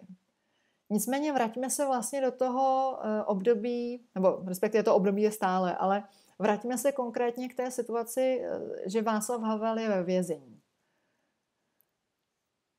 Protože tohle období on nakonec tam nestráví ve vězení 4,5 roku, on nakonec je eh, propuštěn na začátku, tuším na začátku roku 1983. Nicméně opravdu od jako poloviny roku 79 do začátku roku 83 je ve vazbě, posléze ve vězení. A zatímco do vás by mu mohlo psát větší množství lidí, tak do vězení mu mohli psát pouze rodinní příslušníci. A to tedy v jeho případě v tomto období již znamenalo Ivan Havel, Olga Havlová a tehdy ještě jeho švagrová Květa Havlová. Je očividné, na co narážím. E, narážím na rodinnou korespondenci mezi Václavem Havlem na jedné straně a zbytkem rodiny na straně druhé. Tyto dopisy, zejména tedy od Václava Havla z vězení, vešly samozřejmě ve všeobecnou známost jakožto eh, dopisy Olze, ale když je čtete, tak sice jsou vlastně jako stylizované jako dopisy Olze, jo, jako že čistě píše své manželce Olze. Nicméně částečně je to už potom vlastně i literární jako stylizace, protože my víme, že ty dopisy potom navazují nejenom na dopisy od jeho manželky Olgy, ale navazují také na dopisy od jeho bratra Ivana a dopisy od jeho bratra Ivana vyšly jako dopisy od Olgy eh, v knihovně Václava Havla. A tyto dvě knihy jsou tedy vlastně jako dokumentací té bratrské komunikace. Jo, protože od Olgy Havlové se nám dopisy nezachovaly, respektive nejsou přístupné a určitě nejsou vydané, tak můžeme pracovat pouze s dopisy Václava Havla, které byly vydány ještě v samizdatu před sametovou revolucí a z dopisy od Olgy, to znamená z dopisy od Ivana, které byly eh, vydány až, až posléze, tuším v roce 2011. A oč se vlastně jedná? Ivan M. Havel vlastně tu eh, korespondenci se svým bratrem začíná už eh, ve vazbě. To znamená, už na, tom, na tom jaře nebo v průběhu léta 79 se začíná všímat toho, že si bude muset se svým bratrem psát a píše mu, abys nám tam duševně nezakrněl. A vlastně v tomhle duchu si s ním dopisuje po celou tu dobu jeho vazby konkrétně, nebo respektive po tom uvěznění. A o čem si píšou? Samozřejmě, že na začátku jako si píšou o takových jako každodenních událostech, které ovšem můžou si napsat. Jo, protože oni jsou se samozřejmě oba velmi dobře vědomi toho, že ty dopisy prochází cenzurou, takže pochopitelně jsou limitováni v tom, co si můžou napsat, ale nicméně jako píšou si o každodenních záležitostech a, a píšou se o takových jako běžných věcech. Nicméně Ivan M. Havel mu posléze začíná do těch svých dopisů eh, včlenovat také různé jako intelektuální vsuvky, můžeme říci. Jo, tomu píše, o čem četl, jakou zajímavou knihu zrovna četl, dokonce mu i přepisuje nějaké pasáže knih. A posléze dokonce ještě přibírá eh, k té konverzaci další účastníky. Protože Václav Havel vlastně tady ten hozený, tady tu hozenou rukavici jako s radostí přijímá. A ty dopisy najednou dostávají úplně jiný směr, než čistě jako e, běžná korespondence o každodenním životě. A vlastně se začíná ubírat k takovým jako spíše filozofičtějším pasážím, myšlenkovým úvahám, úvaha vlastně o smyslu e, své existence, o smyslu toho, co dělá, o smyslu toho, že jako jak vlastně najít nějaký smysl v té situaci, ve které se nachází. A Ivan M. Havel v jedné fázi mi říkal, že vlastně mu jako došla inspirace, co má svému bratrovi odpovídat. A přizval vlastně k té eh, komunikaci ještě účastníky takzvané kampademie. Co byla kampademie? Kampademie je vlastně jako přezdívka nebo eh, terminus technicus, který eh, označuje takzvanou obnovenou platonskou akademii na kampě, která vznikla už na začátku 70. let. Vzniklo to vlastně jako v okruhu žáků profesora Patočky, byl to bytový seminář, který eh, vytvářeli například jako Radim Palouš, jeho syn Martin Palouš, Pavel Bratinka, Daniel Kroupa a další. A Ivan M. Havel se zrovna v tomto období s nimi seznamuje a seznamuje se také ale se Zdeňkem Neubauerem, jo, který v té době ještě působil na Přírodovědecké fakultě Univerzity Karlovy kterýž to je vlastně člověk, který se snaží jako různými způsoby, nebo snažil různými způsoby propojovat například přírodní vědy, filozofii, náboženství, částečně ezoteriku. Jo, a prostě je to jako opravdu Eh, takový ten renesanční člověk můžeme říci v tom smyslu, že eh, byl vzdělaný v mnoha oborech. A tady tu partu filozofů, neoficiálních filozofů, si Ivan M. Havel vlastně bere eh, jako komentátory nebo jako, jako další možné pisatele, vlastně spolupisatele, neoficiální samozřejmě, těch dopisů svému bratrovi do vězení. A skrze to se vlastně jako rozvíjí diskuze opravdu jako o smyslu existence, o Bohu, o víře v Boha, eh, o takové té jako neúplně přímé cestě k nalezení Boha a tak dále, což my si spojujeme vlastně s dopisy Olze s, od Václava Havla, ale vlastně za, jako velkou, velkou roli v tom hraje právě to přizvání vlastně dalších, dalších eh, osobností do té konverzace, byť samozřejmě jako nepřiznaných. A tohle to vlastně jako bratrské dopisování má eh, vliv velký, jednak tedy na obsah těch dopisů, jednak na způsob prožívání toho eh, uvěznění Václava Havla a zároveň to má velký vliv proto, protože se tím pádem vlastně jako ta skupina filozofů okolo Kampademie seznamuje s oběma bratry Havlovými. Byť jeden je v té době ve vězení. Zároveň je to podstatné proto, protože minimálně třeba eh, Ivan M. Havel potom vzpomínal na to, že v tomto období si byli paradoxně jako bratři nejblíž. Byť fyzicky byli odloučení, tak ale vlastně nikdy si předtím ani potom si tak často jako nevyprávěli o svých jako zážitcích z každodenního života a o tom, co si myslí o světě a nikdy vlastně předtím ani potom nebyli už v takovém kontaktu, jakoby intenzivním. Jo, takže tohle období je vlastně pro nás jakoby podstatný i z toho ohledu, že eh, se po těch jako 70. letech, kdy byli bratři v zásadě jakoby spíše odloučení od sebe a jejich životy neprobíhaly společně, ale spíše paralelně, tak tady se nám zase začínají naopak propojovat. A eh, tyto vlastně jako filozofické tendence nebo zájmy o filozofii, eh, přináležitost vlastně k tomu okruhu té kampademie, Eh, se pro Ivana M. Havla zásadním způsobem vlastně mm, prohlubují ještě tím, že když jsme si říkali, že v roce 79, na konci roku 79 přišel zaměstnání, tak je potřeba říci, že v roce 80 tak jako různě opět se snažil najít jako různá zaměstnání, někde byl různě na, na, na zkušební dobu, potom to skrze tlak státní bezpečnosti nebylo eh, možno umožnit, nebylo, nebylo možno pokračovat jako v normálním pracovním poměru. A práci vlastně získává až v roce 81 v únoru, kdy začíná pl- pracovat v Metě. Teď co byla Meta? Eh, Meta byla totiž oddělení Československého svazu invalidů, kde byli různě zaměstnávání jako třeba programátoři na eh, různé nasmluvané úkoly. Invalidů. Jak mohl být Ivan M. Havel zaměstnán ve svazu invalidů? Eh, bylo to umožněno tím, že právě za tím účelem, aby získal alespoň nějakou práci, získal skrze známosti eh, takzvanou změněnou pracovní schopnost a díky tomu tedy splnil ten základní požadavek a mohl tam být zaměstnán. Je potřeba říci, že v, tomhle, v této metě, jak říkají bývalí dizidenti, ta meta byla tak, taková jako meta vlastně všech dizidentů, tak v této metě se setkal v různých časových obdobích například s Filipem Topolem, se Zdeňkem Pincem, ale setkává se tady taky právě s Martinem Paloušem a se Zdeňkem Neubauerem. A to jsou právě ty osobnosti té kampademie, toho filozofického neoficiálního prostředí, eh, těch eh, bytových seminářů, filozofických seminářů a tak dále a tak dále. A Ivan M. Havel právě v tomto období nejenom, že skrze tu vynucenou změnu práce vlastně nachází nové zájmy, ale také přebírá ještě jako množství aktivit od svého bratra. My jsme si řekli, že edici Expedice, samizatovou edici, Václav Havel založil spolu s Daňou Horákovou.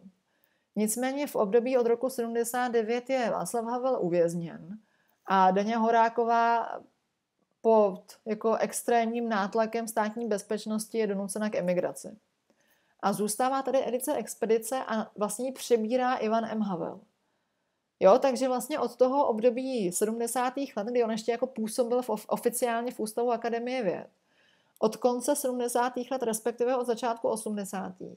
On se začíná angažovat v té neoficiální sféře, můžeme říci.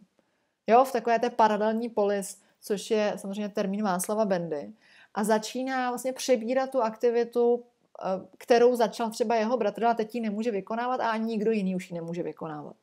Takže přebírá eh, zodpovědnost za chod samizdatové edice, zároveň vlastně navazuje na Daňu Horákovou ještě v jednom ohledu. A to je v tom, že Daňa Horáková ve svém bytě v Pařížské ulici pořádala takzvaný salon. Jo, jako to bylo v podstatě, v podstatě něco mezi bytovým seminářem a společenskou akcí, kde se tančilo a zpívalo a, a provozovali jiné jako umělecké třeba aktivity. A Ivan M. Havel je přebírá po její tedy vynucené emigraci a začíná organizovat eh, na konci 70. let bytový seminář ve svém bytě na nábřeží. Ten bytový seminář vešel ve známost eh, pod názvem Pondělky. A vlastně má to program, jo, ten seminář má program, eh, je naplánovaný vlastně tak, že kopíruje akademický rok Eh, vystupující tam vlastně mluví o všech možných, jako, nebo prezentují tam vše, všechny možné příspěvky od filozofie, umění, po přírodní vědy a vlastně snaží se na těch pondělcích Ivan M. Havel jednak otevřít ty semináře i veřejnosti, to znamená, jako není to čistě pro okruh disidentů, ale chodí tam vlastně i lidé z takzvané šedé zóny, a je to vlastně otevřené i pro přátele, kteří normálně třeba ještě působí právě v těch eh, oficiálních institucích, ale zároveň se přátelí i s těmi lidmi, kteří už tam působit nemohou a, a jsou spíše na té straně jako dizidentské. A to se právě vlastně všechno jako formuje v tomto období. Jo, toho konce 70. let, nebo jako vlastně od, od období po, chart, po chartě eh, do začátku 80. let. Takže pro Ivana M. Havla je vlastně tohle období taky jako naprosto zlomové. Jo, on se vlastně od toho e, zaměstnance oficiální vědecké instituce dostává do pozice toho, kdo už ví, že nemůže jako oficiálně působit v žádné vědě. A hledá si vlastně jakoby tu seberealizaci, to sebenaplnění někde jinde. A hledá si ji právě vlastně v tom neoficiálním združení těch jako e, filozofů, těch přátel, kteří vlastně už jsou zvyklí na to pro, eh, organizovat bytové semináře a tady ten jako habitus vlastně on, on přebírá. Co se stane v roce 1983, kdy je eh, Václav Havel propuštěn? Eh, stane se to, že se to celé ještě, ještě více znásobí, celé to dostává ještě další dynamiku. Václav Havel vlastně spolu s Ivanem M. Havlem začínají pořádat, nebo stávají se členy té, té obnovené akademie platonské na kampě a začínají zvát vlastně její členy na hrádeček. My čistě ke Kampademii vlastně máme tuto knížku od Daniela Kroupy, kterou tedy také vydala knihovna Václava Havla, kde jednak popisuje jako vznik a jednak můžeme vidět mimo jiné třeba i zápisy z z těch zasedání na hrádečku. Jo, tady zkusím přiblížit. Tady vlastně vidíme program, vidíme ilustrace, vidíme i jako různé doprovodné obrázky. A díky tomu si tedy vlastně můžeme udělat nějaký obrázek o tom, eh, co se, co se tam probíralo. Zároveň vlastně tady ty hrádečkovská, tady ta hrádečkovská zasedání kampademie nebyla jediná jako činnost. Je potřeba říci, že vlastně pro Ivana M. Havla je tady to zblížení právě s těmi filozofy kolem kampademie zásadní, pro, zejména tedy jako vlastně to zblížení právě s Martinem Paloušem a se Zdeňkem Neubauerem. Proč? Uh, Ivan M. Havel je tedy jednak jako aktivní člen kampademie, zároveň se spolu s uh, Martinem Paloušem a uh, s Deňkem Neubauerem tedy začínají od roku 82, tuším, nebo od roku 83, začínají vydávat na takzvané svatojánské výlety. Co to znamenalo, že na svatého Jana začali pořádat výlety ve třech a začali filozofovat vlastně o tom, co vidí v přírodě. Klíčovou, prostě, e, klíčovou knihou pro ně byla kniha Učení Dona Juana od Carlose Castañery, která se potom ještě vlila jako další vliv vlastně do dialogu Sidonia a Sakatéky. Teď si můžete myslet, jako, že tady vlastně jako mluvím o věcech zdánlivě jako nepochopitelných, ale oč, oč šlo. Bylo prostě, byla kampandemie, která se scházela ob týden a která měla své členy, která byla uzavřena. Vedle toho byly pondělky, které se také konaly ob týden právě v ten týden, kdy nezasedala kampandemie které, které naopak byly otevřené, které se snažily krom filozofie eh, vlastně ve svém programu zahrnout i širší spektrum, například od umění po přírodní vědy. A vedle toho, protože to uh, zjevně aktérům ne, nestačilo, se tři z nich setkávali na svatojánské výlety, ze kterých potom psali samozřejmě zápisy a texty a filozofická pojednání. A dva z nich, konkrétně Ivan M. Havel a Zdeněk Neubauer, si ještě začali psát dopisy. To jsou ty dialogy Sidonia a Sakatéky, protože Sidonius je latinizovaná podoba jména Zdeněk a Sakatéka je právě jedna z postav z Kastanědy a to byla eh, přezdívka Ivana M. Havle. Takže od této doby on se začíná ještě psát dialogy se Zdeňkem Neubauerem a celé tohle to je vlastně jako rámováno různými texty, nicméně zejména, eh, zejména tím Kastanědou. Jo, to je vlastně jako autor, na kterého oni velice často odkazují. Jak se k ním tato kniha dostala? Dostala se k ním skrze Markétu Get Stankievič, což byla jejich eh, přítelkyně, která žila v Kanadě a do Československa vlastně jezdila na léto a byla tady jako emigrantka z Československa, která žila v Kanadě a vracela se sem v létě, protože eh, se zajímala o divadlo a psala o divadle v Kanadě a jsem jezdila a mohla Ivanu M. Havlovi posílat literaturu ze západu. A Kastaněda byl tehdy, eh, tehdy hit a vlastně ta, ta jeho kniha je právě charakteristická tím, že eh, propojuje ezoteriku, propojuje eh, užívání dnes zakázaných látek halucinogenních a propojuje právě to, že skrze to můžeme eh, otevřít nové brány svého vědomí a můžeme jinak poznávat svět. Proto vlastně my na těch zápisech z Hrádečku můžeme vidět jako různé veselé švitořící houbičky, eh, různě tak proplétající program jako zasedání na Hrádečku.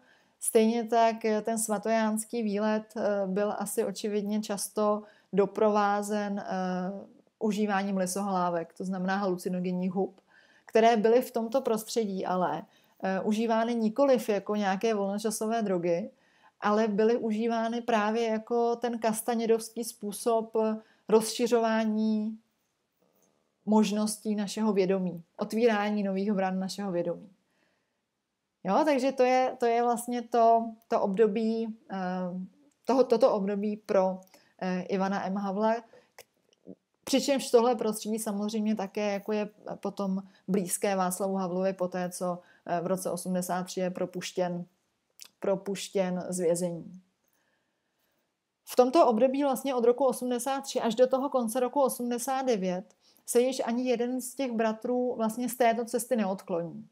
Jo, Ivan M. Havel je dál, eh, dál si dopisuje se Zdeňkem Neubauerem, dál pořádá pondělky, dál funguje edice Expedice, o které mimo jiné ještě si dovolím doporučit další knihu, kterou napsala Gabriela Romanová, příběh edice Expedice, taktéž z knihovny Václava Havla.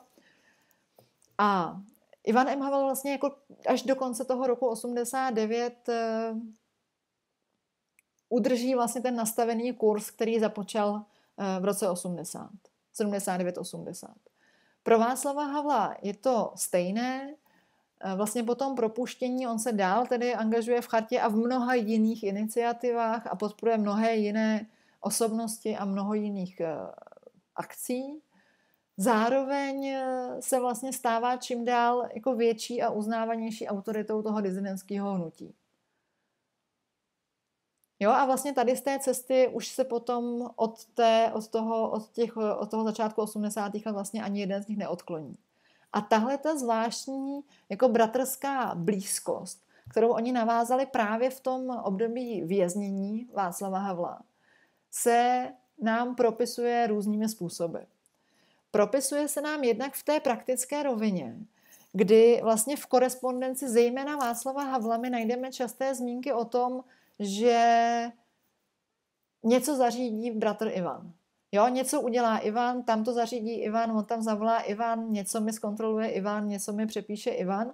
Ivan Havel vlastně se v tomto období, kdy Václav Havel je opravdu jednou z těch jako největších autorit československého dizentu, tak Ivan Havel je vlastně spolu se Zdeňkem Urbánkem Eh, jednou z jeho eh, jako pravých rukou, ruk.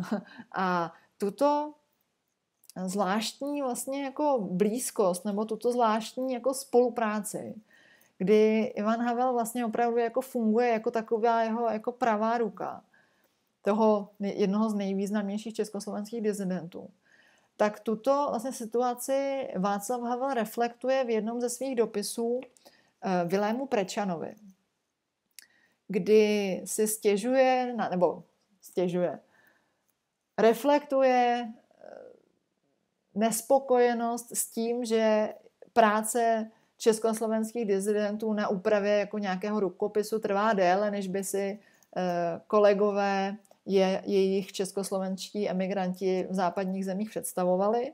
A Prečanovi v tomto období právě píše. Navzdory komplikacím jsme opisovačku nakonec sehnali, ač matka dvou dětí chodila denně k nám tři hodiny psát a knihu opravdu perfektně za měsíc přepsala. Je to skoro 500 stran. Průběžně, průběžně jsem dělal autorskou korekturu. Můj bratr průběžně mé opravy prováděl na počítači, ve volných okamžicích jsem to dělal i já, i zmíněná opisovačka. Můj bratr zároveň prováděl definitivní grafickou úpravu, češtinsky správné rozdělování řádek a tak dále. Průběžně jazyková korektorka dělá jazykovou korekturu. To vše ovšem trvá už 6 neděl a absolutně to nelze uspíšit. Příklady proč. V mém bytě bydlí 14 dní profesor Lomonosovovi univerzity Nalimov z paní. Jsou to Ivanovi hosté, o níž se musí starat. Mají přednášky na fakultě i v dizidentských bytech, chtějí poznat Československo a tak dále a tak dále. Můj bratr i jeho žena, vzali se nedávno, jsou přitom pochopitelně normálně zaměstnaní. Ivan táhne expedici přednáškový cyklus, sám vědecky pracuje. Opravovat mou knihu může obvykle tak od jedné v noci do tří. Zaučit někoho dalšího, kdo by, to k nám chodil dělat, by v podstatě zabralo víc času, než kolik ta práce zabra, zabere Ivanovi samotnému. Lze se na něj zlobit? Lze se zlobit na mne? Na koho se vlastně lze zlobit? Jedině na český národ, který chce číst zajímavé knihy ze samizdatu či exilu, chce, aby charta bojovala za lidská práva, chce kde co, ale zároveň dopustí, aby to všechno táhlo pár lidí, kteří toho mají stále víc a jsou už na hranici uštvanosti. Konec citátu z korespondence mezi Václavem Havlem a Vilémem Prečanem. Jo, tady vlastně vidíme, že ta 80. léta jsou tedy charakteristická tím, že Václav Havel je opravdu jako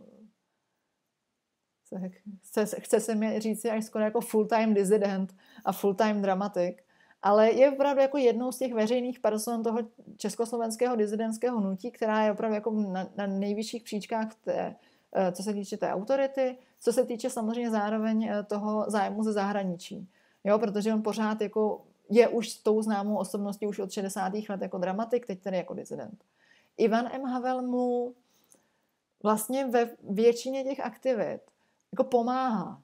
Jo, on je, on je tou druhou, eh, tou, eh, tou jeho pravou rukou, tou druhou stranou, která mu vlastně se snaží pomáhat, snaží se jeho aktivity podporovat, snaží se k ním přispívat, byť vlastně sám nikdy nepodepsal chartu, nikdy nebyl mluvčím charty, tak vlastně jako eh, spravuje edici expedice, spravuje bytové semináře a jak sám říká, je s ním vlastně ze strany státní bezpečnosti nakládáno, jako kdyby byl chartista, přestože chartistou nikdy nebyl. Ale to jsme vlastně pořád eh, vlastně v té eh, straně, na té straně jako eh, toho, jak se k ním chová ta, ta, ta komunistická moc. Je potřeba říci, že sami samozřejmě tento tlak, tuto možná jako temnou stránku těch 80. let reflektují a zároveň ji vyvažují právě tím, že na jedné straně jsou tedy jako různě sledování, vyslýchání a persekuování ze strany státní bezpečnosti, na straně druhé se ale velice často uchylují právě k takovým jako společenským projevům, společenským aktivitám, které to trochu jako kompenzují a vynahrazují. Co je tím míněno? Tady ten vlastně jako tlak a tady ta nejistota a ty, a ty různé persekuce vyvažují právě společenskými aktivitami, které jsou velmi velmi bujaré, velmi odlehčené. Konkrétně jsou tím míněny například tradice kostýmovaných večírků na Silvestra, jsou tím míněny například tematické oslavy olžiných narozenin v červenci a jsou tím míněny jako jakékoliv další jiné večírky, až už tradice takzvaných HCP, což byly Homecoming Parties, které se konaly vždycky po propuštění někoho z vězení a nebo eh, ať je to právě již ta jako divoká, nebo z našeho pohledu dnes možná jak jaksi divoká přináležitost k těm filozofickým okruhům.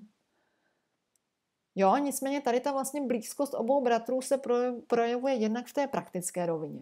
To znamená v rovině vlastně té pomoci v tom provozním běžném každodenním životě. Ale projevuje se vlastně taky nějak v těch uměleckých aktivitách Václava Havla. Když se takto táží, je opět zřejmé, že asi ano, jinak bych se netázala, když tu sedím sama. A projevuje se právě v divadelních hrách. My totiž můžeme ty divadelní hry Václava Havla vlastně jako charakterizovat po dekádách. Jo, v 60. letech začíná svými absurdními dramaty, které jsou často nějakým způsobem inspirovány rodinným okolím a rodinným prostředím. V 70. letech jeho hry jsou zejména inspirovány jeho vlastní každodenností, jsou velmi autobiografické, jsou velmi velmi dobře se dají číst vlastně jako reflexe jeho každodenního života. A v 80. letech naopak, pokud jde o ty hry povězeňské, najdeme vlastně oba tyto, obě tyto roviny. Začíná to vlastně aktovkou, jednoaktovkou chyba, kterou Václav Havel vydal nebo napsal v roce 83, která na jedné straně svým prostředím kteréž to je vězeňské. Vlastně celá, celá ta hra se odehrává ve vězení, ve vězeňské cele a snaží se zachytit eh, situaci nového vězně na celé, tak touto, tím, tímto aspektem je velmi autobiografická, protože jako Václav Havel napsal eh, těsně po návratu z vězení. Zároveň tam ale jedna, hra, jedna postava té hry se jmenuje Xiboj což měla být původně jedna z postav hry Ivana M. Havla, kterou psal na konci 50. let a chtěl psát v jazyce Petidepe. Jo, takže v této hře chyba my vlastně můžeme vidět obě roviny. Jak tu autobiografickou, tak tu, která je inspirovaná nějak velmi volně a jenom jako na úrovni toho jména té postavy uh, Ivanem M. Havlem. Celé se nám to ještě prohlubuje o rok později, kdy Havel píše, Václav Havel, píše hru Largo Desolato. O čem je ta hra? V té úplně jakoby nejobecnější rovině je to vlastně příběh filozofa, doktora Leopolda Kopřivy, který na základě toho, že napíše esej Ontologie lidského já, čelí tomu, že bude na základě smyšleného, pochopitelně, paragrafu 511 intelektuální výtržnictví odsouzen a uvězněn. Jo, následně ale přijdou tajní policisté a nabízí mu vlastně domluvu. Nabízí mu, že když odvolá, respektive distancuje se od toho textu, řekne, že on není ten Leopold Kopřiva, který tu esej napsal, ale že to byl někdo jiný. To znamená, v podstatě se jako distancuje od toho textu, tak mu eh, nic hrozit nebude. A teď vlastně nastává tak to klíčové období té hry, eh, kdy on zvažuje, zdali se má vlastně sám, sám jestli, zdali má sám před sebou lhát a má se, má se distancovat od toho, od, té, od toho eseje, anebo nikoliv. Jinak řečeno, zdali má podlehnout tlaku, anebo má se zachovat jako odvážně hrdinsky a má se k němu při, při, při, má se k, té, k tomu eseji přihlásit, přestože Eh, mu to může vynést eh, uvěznění. Zároveň tam vlastně jako paralelní eh, děj se odehrává na, rovině, na, na rovině osobních vztahů, protože stejně jako v mnoha jiných hrách Václava Havla tam najdeme vlastně to téma paralelních partnerských vztahů. To znamená, má tam vlastně, byť je ženat, tak má ještě jako uh, milenku, Markétu. A ta hra vlastně graduje tím, kdy ona mu říká, co pak eh, prostě nejsi schopen se za to postavit, co pak nejsi schopen být hrdina, co pak prostě nejsi schopen se k, té, k tomu eseji přihlásit, skutečně zvažuješ, že to odvoláš, tak to se tedy u mě jako zásadně kleslo. Ta hra graduje ve chvíli, kdy on si, eh, on najde v sobě tu odvahu se k textu přihlásit a nechce přistoupit vlastně na tu hru těch tajných policistů. Nicméně v tu chvíli oni právě otočí. Oni řeknou, dobře, tak jako nemusíte už nic odvolávat, nemusíte se ani k ničemu přihlašovat, My jsme to odložili na neurčito. My jsme ten váš potenciální trest, to vaše potenciální odsouzení, odložili na neurčito. že on reaguje samozřejmě velice vášnivě, velice rozrušeně. Říká, jak na neurčito. A vlastně celá ta poenta je v tom, že právě tenhle odklad na neurčito je na tom ten největší trest. Jo, to, že nevíme, jestli se to někdy ještě vrátí, ta hrozba.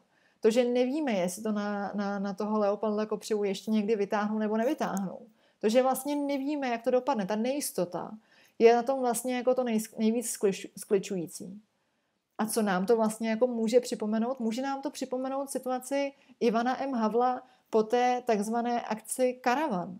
Může nám to připomenout tu situaci, kdy on od roku 81 je stíhán na svobodě s tím, že kdykoliv může být znovu obnoveno trestní řízení a může být kdykoliv odsouzen až k deseti letům z podvracení republiky.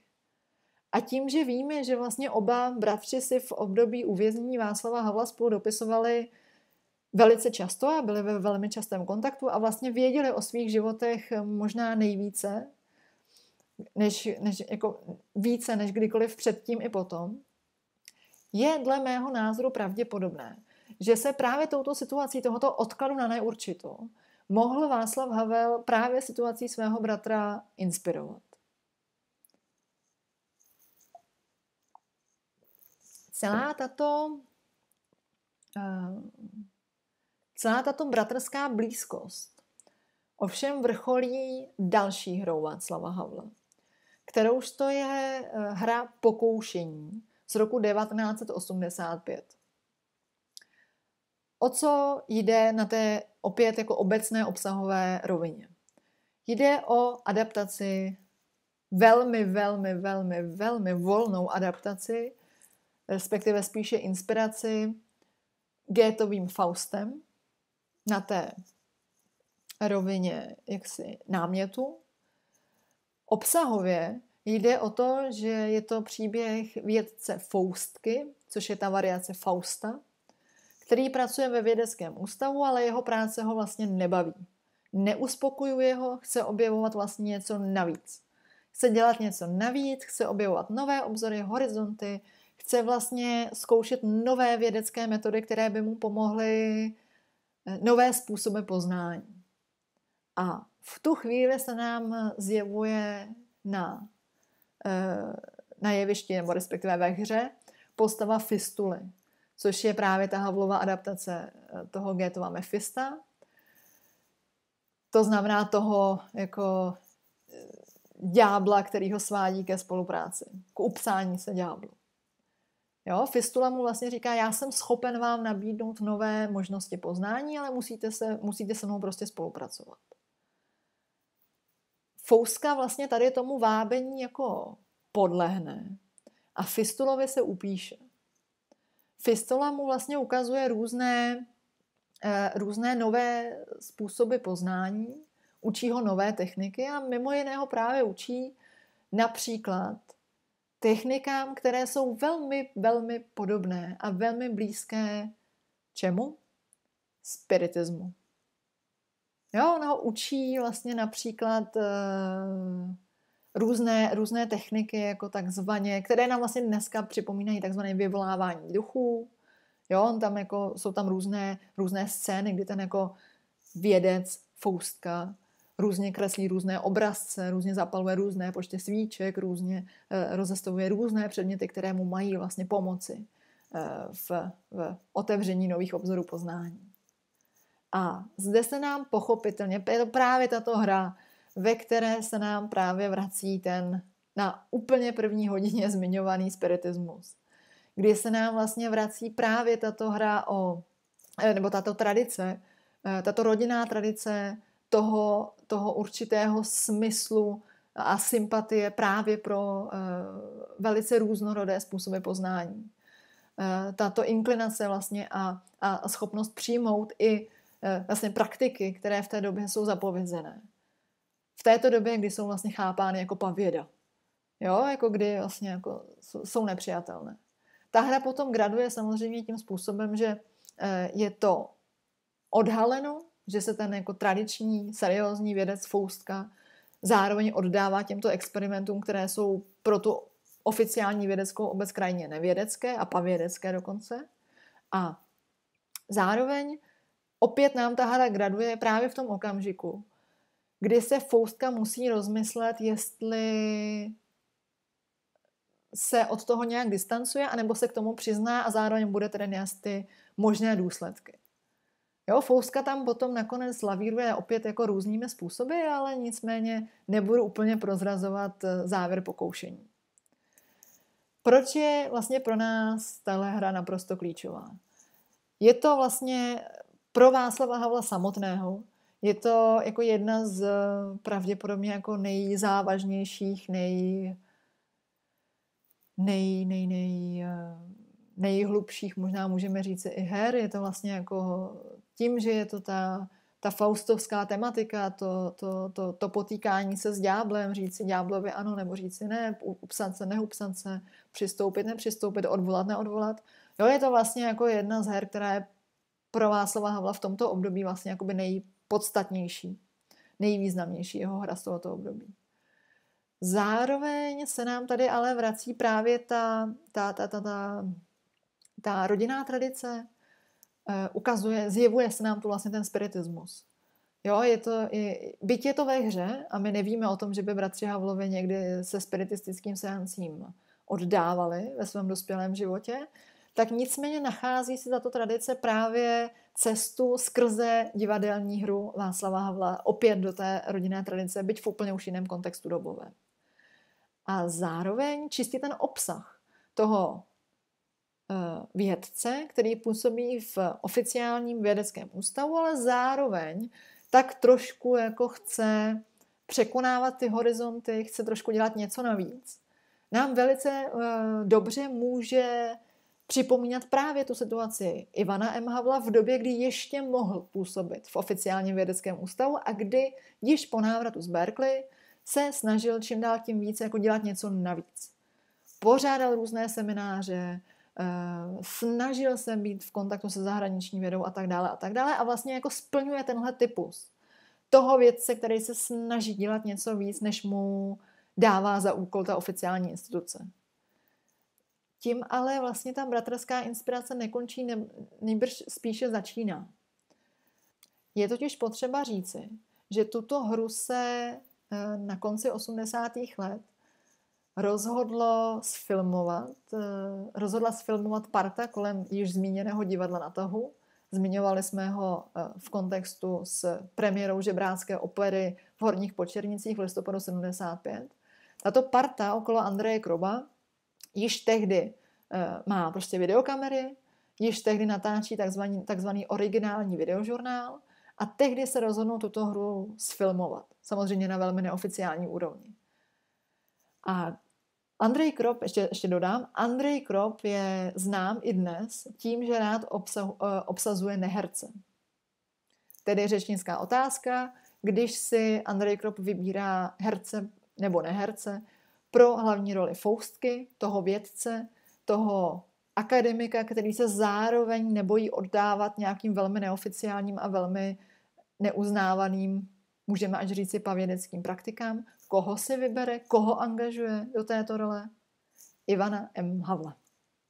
Jo, takže tady se nám vlastně jakoby celá ta propojenost eh, ukazuje ještě v docela jiném, docela jiném, docela jiném obrazu. Jo, vlastně jako nabírá úplně jiné obrátky, prohlubuje se. Jo, ta, ta, ta skutečně ta, ta, ta interpretace toho Ivana M. Havla a vůbec té rodinné tradice, jako, jako těch, kteří se sice pohybují na té vědecké úrovni, ale zároveň se nebojí eh, jak si přistoupit i na roviny běžnými akademiky neuznávané, se nám, nám tady vlastně jako vrcholí. Zároveň, kdybychom se tázeli vlastně po nějakém jako širším než takhle explicitním vlivu spiritismu v té rodině, jakož já jsem se tázala vlastně Ivana M. Havla, tak on mi vlastně říkal, eh, že sice nikdy jako nevyvolávali duchy, vlastně tato rodinná tradice jako v tom praktickém projevu nebyla už potom v rodině přítomna. Nicméně byla přítomna právě jako v takovém tom myšlenkovém nastavení, takové té myšlenkové otevřenosti i jiným způsobům výkladu.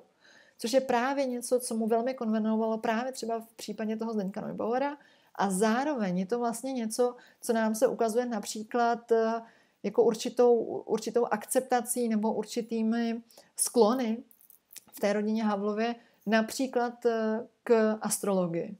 Jo, astrologie je prostě něco, co je běžně ve vědecké komunitě nebo v běžně uznávaných oficiálních vědeckých institucích něco, co rozhodně není jako uh, nějaká validní vědecká metoda, ale zároveň pro třeba Ivana M. Havla nebo Václava Havla je to vlastně jako byl způsob poznávání nebo vysvětlování světa v případech, kde si už nejsme schopni pomoci běžnými racionálními prostředky.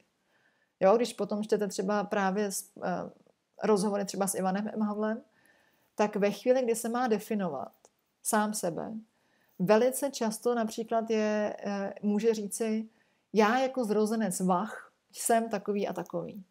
A už tahle ta identifikace právě s, těmi, eh, s tím, že jsem se narodil v, ve znamení váhy a to, že z toho dokážeme, implik, eh, dokážeme vyvozovat právě potom nějaké jako soudy, je zase dalším z možných význaků právě té rodinné tradice spiritismu. Právě té rodinné tradice, která vlastně jako v té rodině zakotvila takovou jako myšlenkovou otevřenost. Jo, takovou jako otevřenost různým jiným výkladům světa, než, než, než jsou ty striktně oficiální, vědecké, uznané, racionální. A to nám vlastně jako vrcholí a zároveň se potom ještě v mnoha jiných jako variacích ukazuje uh, tou hrou pokoušení, respektive potom ještě dalšími, dalšími, uh, dalšími význaky. K této hře pokoušení je nicméně ještě potřeba dodat, že bylo-li řečeno na začátku, že se vlastně jedná o takovou jako adaptaci nebo možnou inspiraci Gétovým Faustem. Tak je ale potřeba dodat jako adaptaci a inspiraci v československém každodenním životě, v československém kontextu. A dovolím si právě proto ještě ocitovat, co ke hře napsal sám autor Václav Havel. Cituji tedy. Já bych řekl, že on, Faustka, je jakýmsi zvláštním způsobem a v tom je trochu vzdáleně podobný klasickému Faustovi, i když se mu jinak moc nepodobá. Čím si hnán překračovat pořád horizonty. Nic mu nepostačuje. Ten jeho horizont, ten jeho svět mu nestačí, ale zároveň je to srap, uprděný český současný Faustík. Faustík v totalitním státě. Zlo vůbec je v té hře takové zdomácnělé, domestikované, rozplizlé. On není žádná gigantická titánská postava, jako je starý Faust. Ano, to je pokleslý Faust. Jako ďábel je pokleslý v té hře, zlo je pokleslé. Všechno je pokleslé, protože to je v tomto sekularizovaném světě, v němž žijeme, kde nic nemá svou vznešenost, ani ďábel, ani Faust. Je to všechno takové usmolené. Jo, nicméně právě tou hrou pokoušení se dostáváme uh, už na konec 80. let. Je očividné, že uh, bychom se tu mohli skutečně uh, jak si věnovat mnoha, mnoha, mnoha dalším aktivitám Václava Havla i Ivana M. Havla. Jo, mohli bychom si tu například číst ty svatojánské výlety nebo dialogy Sidonia a Sakatéky. Mohli bychom se tu věnovat vlastně dalším textům, eh, dalším hrám Václava Havla. Nicméně, jelikož nás pochopitelně čas tlačí a jelikož pochopitelně toto ani nebylo v možnostech tohoto kurzu, který se skutečně jako na základě jednoho semestru snažil zachytit celé století v celé velmi, velmi, velmi, velmi bohaté eh, rodinné historii rodiny Havlových a Vavrečkových. Eh, dovolím si ten kurz vlastně jako sklenout. Eh, už k závěru, vlastně ke konci těch 80. let a vlastně vypíchnout už jenom takové jakoby nejdůležitější body. Bylo tady vlastně mockrát řečeno, zejména tedy v případě v souvislosti s Václavem Havlem, že se v jeho veřejných prohlášeních a v jeho ve způsobu, jakým se sám vlastně občansky angažoval a dizidentsky angažoval, že se nám vlastně od toho konce 60. let, nebo vlastně od celých 60. let, až po ta 80. Uh, eh, pro, že nás provází vlastně jako jedna společná myšlenka.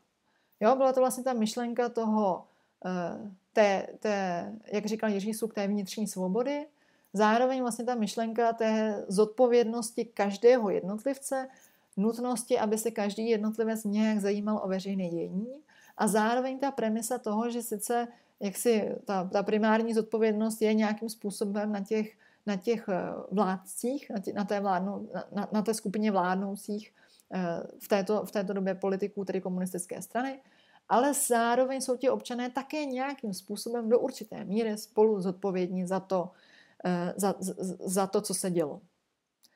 Celé nám to totiž vlastně, tady ten jeho přístup, tady to jeho pojetí, celé nám vlastně vrcholí a zároveň potom nachází nové, nové projevy právě v roce 89, respektive v 90. letech. Oč se konkrétně jedná? My samozřejmě víme, že v roce 89 na začátku je ještě Václav Havel kvůli velmi tedy pochybné, ale jako zdánlivé, nebo spíše jako nadálku, ale přesto účasti při vzpomínkových akcích na Jana Palacha, je Václav Havel naposledy uvězněn, je odsouzen a má být několik měsíců ve vězení. Nicméně již je to rok 89 eh, a již je to rok, kdy samozřejmě ta politická situace i ta společenská situace je docela jiná než třeba v roce 77. Takže na jeho obranu se začínají eh, formovat petice, dopisy, otevřené dopisy na jeho, na, za jeho, propou, za, za jeho propuštění se vlastně začínají eh, stavět i lidé z takzvané oficiální kultury a Václav Havel je v květnu propuštěn a už v červnu je vydána petice několik vět, jo, která je vlastně jako tou hlavní myšlenkou jako demokratizace společnosti. Na rozdíl od charty, která zůstala uh, vlastně jakoby omezeným, jako do, do jisté míry zůstala, zůstala spíše s iniciativou, kterou podpořilo spíše méně lidí, což vůbec neubírá jako na, na významu té podpory, ale ne, ne, nestala se žádným celospolečenským hnutím, tak petici několik vět vlastně eh, v řádu týdnů podepí, a měsíců podepíše několik tisíc lidí. A je na tom očividné, že ta situace se prostě mění. Celé to pochopitelně vrcholí e, sametovou revolucí v listopadu a prosinci 1989, kdy se Václav Havel stává jedním z naprosto ústředních eh, mluvčích eh, a osobností jím založeného nebo jím spolu založeného občanského fóra. A právě to občanské forum, ta, ta myšlenka toho občanského fóra, to, kdy občanské forum provolává, že my nejsme straníci. Jo, je to to slavné heslo strany pro straníky, eh, občanské forum pro všechny občany. Eh, tak se Václav Havel vlastně stává jednou z hlavních osobností občanského fora a to občanské forum vlastně navazuje na všechny ty jeho myšlenky, které jsme se tady říkali od těch 60. let až do, do, do této doby. Jo, je to vlastně ta myšlenka těch, občan, eh, těch, těch angažovaných občanů, těch občanů, kteří se angažují eh, a snaží se zlepšit to veřejné, stav veřejných věcí, stav věcí veřejných. Jo, v občanském foru a sametové revoluci je samozřejmě nejviditelnější osobností právě Václav Havel, který se posléze na konci prosince 1989 stává prezidentem eh, Československé socialistické republiky. Nicméně Ivan M. Havel vlastně pokračuje v tom, co dělal celá 80. léta. On je svému bratrovi na blízku, působí také v koordinačním centru občanského fóra, nicméně do té vyloženě eh, jaksi přímé politické dráhy se nežene. Jo, a tady samozřejmě nebudu teď už jako rekapitulovat minutu po minutě sametovou revoluci ani aktivity Václava Havla, ale podstatné pro nás je to, že, že vlastně v sametové revoluci on vystupuje stejně, byť v úplně jako jiném kontextu, ale velmi podobně a stejně, jako vystupovala předtím. Jo, jako ten angažovaný občan, jako ten, kdo říká, my všichni jsme trošku za to spolu zodpovědní a my všichni s tím můžeme a musíme něco trošku udělat, pokud to chceme zlepšit. Pochopitelně celé se nám to eh, mění v rokem 90, to znamená rokem, kdy Václav Havel se ubírá tou, tou, tou, tou cestou prezidentství, ujímá se prezidentského mandátu a jako, angažuje se vlastně na tom poli politickém. A před Ivanem M. Havlem se v tu chvíli e, nabízejí nebo otevírají velmi, velmi jako poprvé vlastně v jeho životě se ope, o, otevírají tři možnosti. Otevírá se uh, varianta, nebo nabízí se možnost, aby se stal podnikatelem. Jo, aby skrze restituování rodinných podniků se ujal rodinných podniků a aby uh, vlastně navázal na to, co vybudovali jeho rodiče a prarodiče. Stejně tak se nabízí politická dráha, protože je v té době jedním z významných představitelů občanského fóra a nabízí se, aby vlastně za občanské fórum například kandidoval ve volbách, například se ujal nějakých jako významných politických postů. A do třetice se nabízí samozřejmě možnost, aby se zvolil cestu svojí a aby se dál věnoval vědě. Eh, již z toho, je, z toho, co víme, již z toho, co známe, aniž bychom vlastně museli absolvovat tento kurz, my víme, že pochopitelně do, do, do politiky se tedy, eh, politice se začíná věnovat eh, i Václav Havel, o další rozvoj rodinného podnikání, se začíná snažit eh, Dagmar Havlová, to znamená manželka eh, Ivana M. Havla, která vlastně začíná postupem času velmi, eh, až ve chvíli, kdy je to možné, tak vlastně přibírá zprávu Lucerny a zač- snaží se vlastně jako navázat na, ty rodinné, na to rodinné podnikání. A Ivan M. Havel ale volí cestu úplně jinou. A vlastně se vrací k té vědě. Jo, on se vlastně vrací k té své vědecké práci a zároveň se trošku jako ale snaží zachovat eh, ten modus vivendi právě z těch 70. Eh, 80. let. Co je tím míněno? Eh, zakládá spolu s kolegy takzvané Centrum pro teoretická studia, což je společné pracoviště Akademie věd a Univerzity Karlovy. To bylo umožněno mimo jiné právě tím, že jeden z tehdejších kampademiků, Radim Palouš, je v té době už mimo jiné rektorem Univerzity Karlovy a ty možnosti jsou před ním vlastně otevřené a on si volí tuto cestu. Otevírá CTS, které funguje dodnes a které se právě snaží jednak o to, co dělal na pondělcích v té obsahu, po té obsahové stránce. Snaží se propojovat eh, různé, různá odvětví a různé disciplíny do těch takových těch jakoby interdisciplinárních eh, výzkumů, projektů. Jo, on se tam vlastně jakoby snaží propojovat různé vědy, například eh, přírodní vědy, po filozofii, po umění. Jo, opět se nám to tady jakoby opakuje to, co se snažil programově zahrnout do pondělků, to se snaží vlastně jako po té praktické stránce realizovat i v CTS a po dlouhou dobu byl vlastně ředitelem CTS. Zároveň se ale trošku jako snaží uchovat ten habitus eh, toho toho neoficiálního prostředí právě tím smyslem, že sice už nepořádá bytové semináře, ale pořádá pravidelné semináře v CTS, kde se to vlastně jakoby programově eh, docela podobá právě těm pondělkům, co se týče jakoby struktury eh, různých eh, vědních disciplín a zaměření. Jo, takže tam opět od filozofů, umělců, například literárních teoretiků, literárních historiků, teoretiků architektury, můžeme najít zároveň fyziky, biology, chemiky, můžeme tam skutečně najít jako velmi široké spektrum odborníků v různých oblastech, které on se snaží vlastně uh, propojovat právě skrze CTS. A zároveň ale jako musíme říci, musíme přiznat, že právě toto rozdělení, právě toto, uh, toto vlastně jako ro, ro, roz, rozdělení těch různých cest, těch různých členů rodiny, zároveň působí velkou změnu právě v, té, eh, v tom rodinném životě.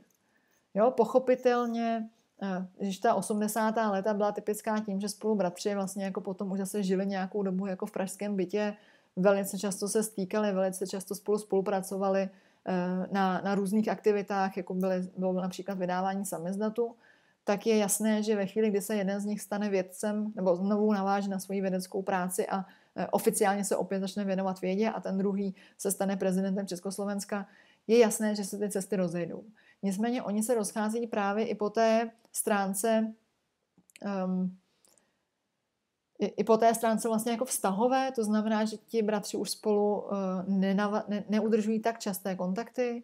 Ivan M. Havel třeba jako často reflektoval právě to, že vlastně měl ke svému bratrovi mnohem těžší přístup, když byl prezidentem. Jo, že prostě jako, on říká, on se přestěhoval na ten hrad a, a najednou byl trošku jako nedobytný pro mě. A vlastně celé se to ještě, ještě znásobuje právě tím, když eh, nastávají samozřejmě ty různé rodinné spory o eh, jaksi v rámci restitucí, v rámci prodávání majetku, v rámci prodávání lucerny a potom zase odkupování lucerny. Jo, takže celé se to vlastně potom ještě komplikuje a nutno tedy říci, že eh, se pravděpodobně oba bratři potom jakoby zase zpátky eh, k sobě navrátili až po eh, několika letech. Nebylo to vlastně zdaleka tak, zdaleka tak jednoduché. Nicméně vraťme se ještě nakonec k Václavu Havlovi, té jeho myšlence, se kterou vystupoval na sjezdu svazu spisovatelů, kdy Jiří Sup vlastně hovoří o té jeho vnitřní svobodě, o té jeho vlastní, eh, o, o té jeho potřebě vlastně jako říci pouze to, za co jsem schopen se sám ručit, za to scha- sám můžu být zodpovědný. K Václavu Havlovi eh, z roku ze srpna 68, kdy vlastně jako promlouvá k národu a říká po okupaci. Uznáte-li za vhodné, že je v tuto chvíli dobré se chovat jako švejk, chovejte se jako švejk. Uznáte-li za vhodné, že je dobré se chovat jako hus, chovejte se jako hus. Jo, je to vlastně znovu ten, ten apel na tu zodpovědnost jako každého občana. K tomu Václavu Havlovi, který v roce 75 píše Gustavu Husákovi, v roce 78 vydává Moc bezmocných, kde vlastně reflektuje eh, opět jo, jako situaci a vlastní zodpovědnost každého jednotlivého občana, každého jednotlivce, každé individuality. Zároveň k tomu Václavu Havlovi, který zakládá občanské forum. A v rámci sametové revoluce se vlastně chová jako ten eh, občanský aktivista. Vlastně říká, já nejsem politik, já jsem občanský, já jsem občanský aktivista, já jsem angažovaný občan. Jakým způsobem se vlastně tady ta jeho situace, nebo tady ten jeho přístup k občanské angažovanosti, k jeho vlastně jako samotnému veřejnému angažmá, Jo, on vlastně jako nikdy nepřistoupí na, na, na, na běžnou stranickou politiku, ale vždycky se snaží pro, prosazovat nebo preferovat vlastně eh, občanské iniciativy, angažované občany, občanské aktivisty. Jak se to mění nebo nemění v prvních letech jeho prezidentování? Já si dovolím ještě jednou přečíst prohlášení Charty 77.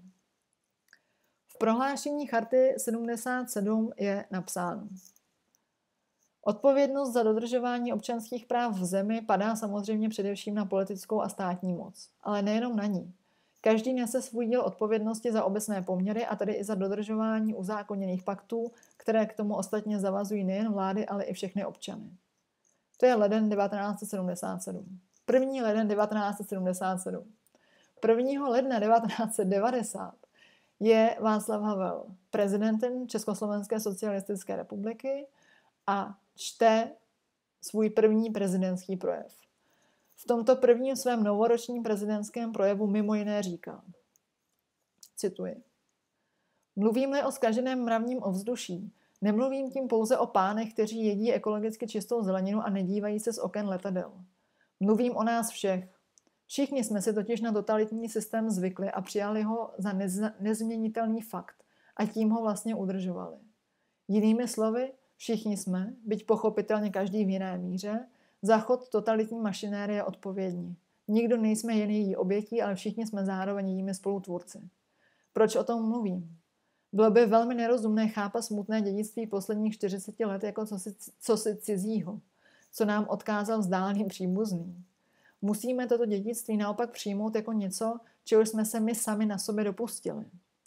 Přijmeme-li to tak, pochopíme, že jen na nás všech je, abychom s tím něco udělali.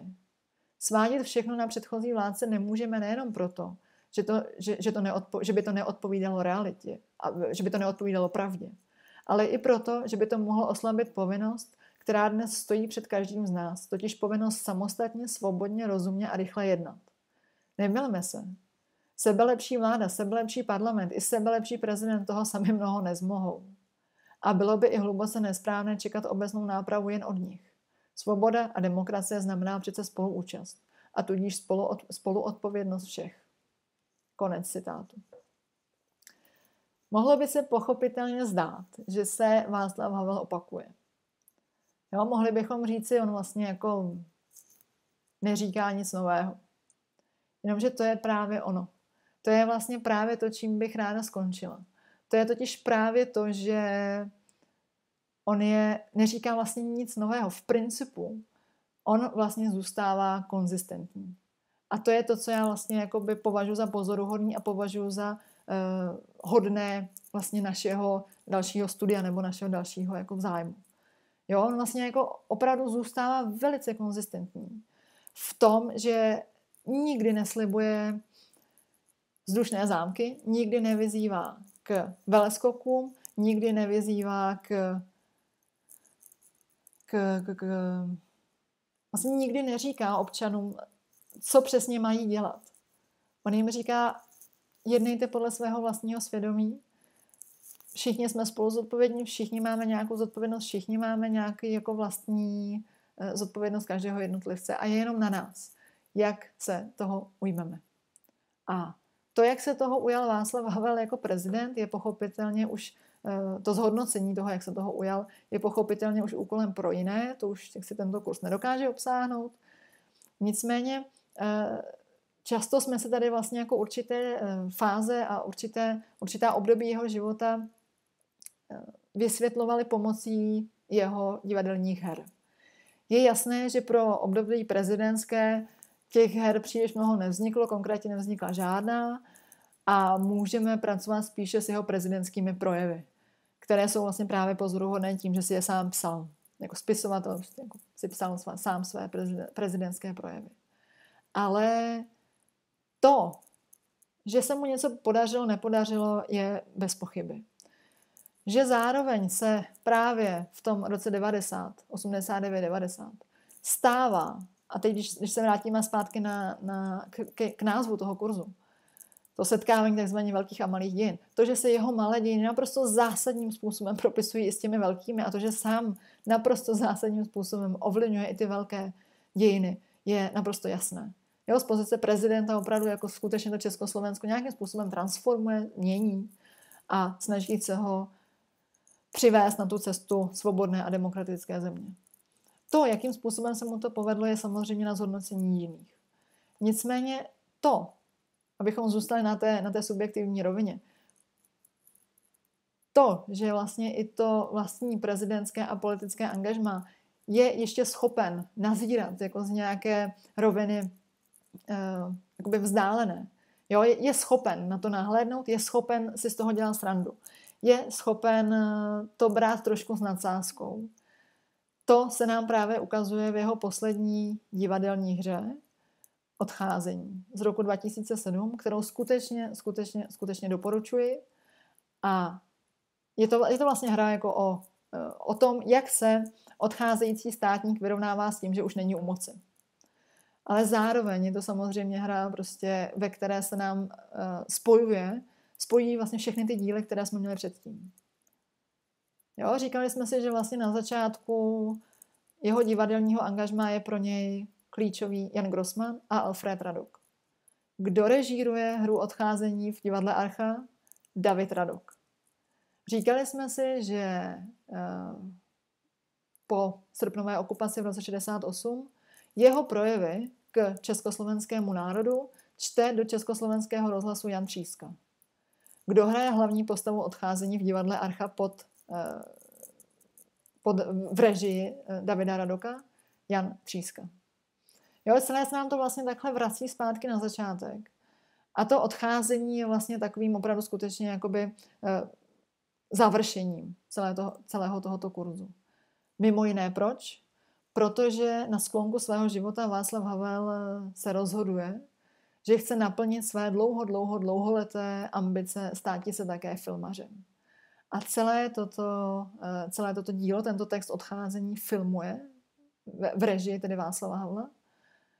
A zároveň to tedy můžeme také brát jako určité navázání na tu rodinnou tradici filmařskou. Jo, my jsme si vlastně tady jako první dvě, tři hodiny e, říkali, že Miloš Havel byl prostě jedním z největších československých filmových magnátů. Že ta rodina byla naprosto zásadní a její rodinný podnik byl naprosto zá... Lucerna Film byl naprosto zásadním hráčem v československém filmovém biznesu.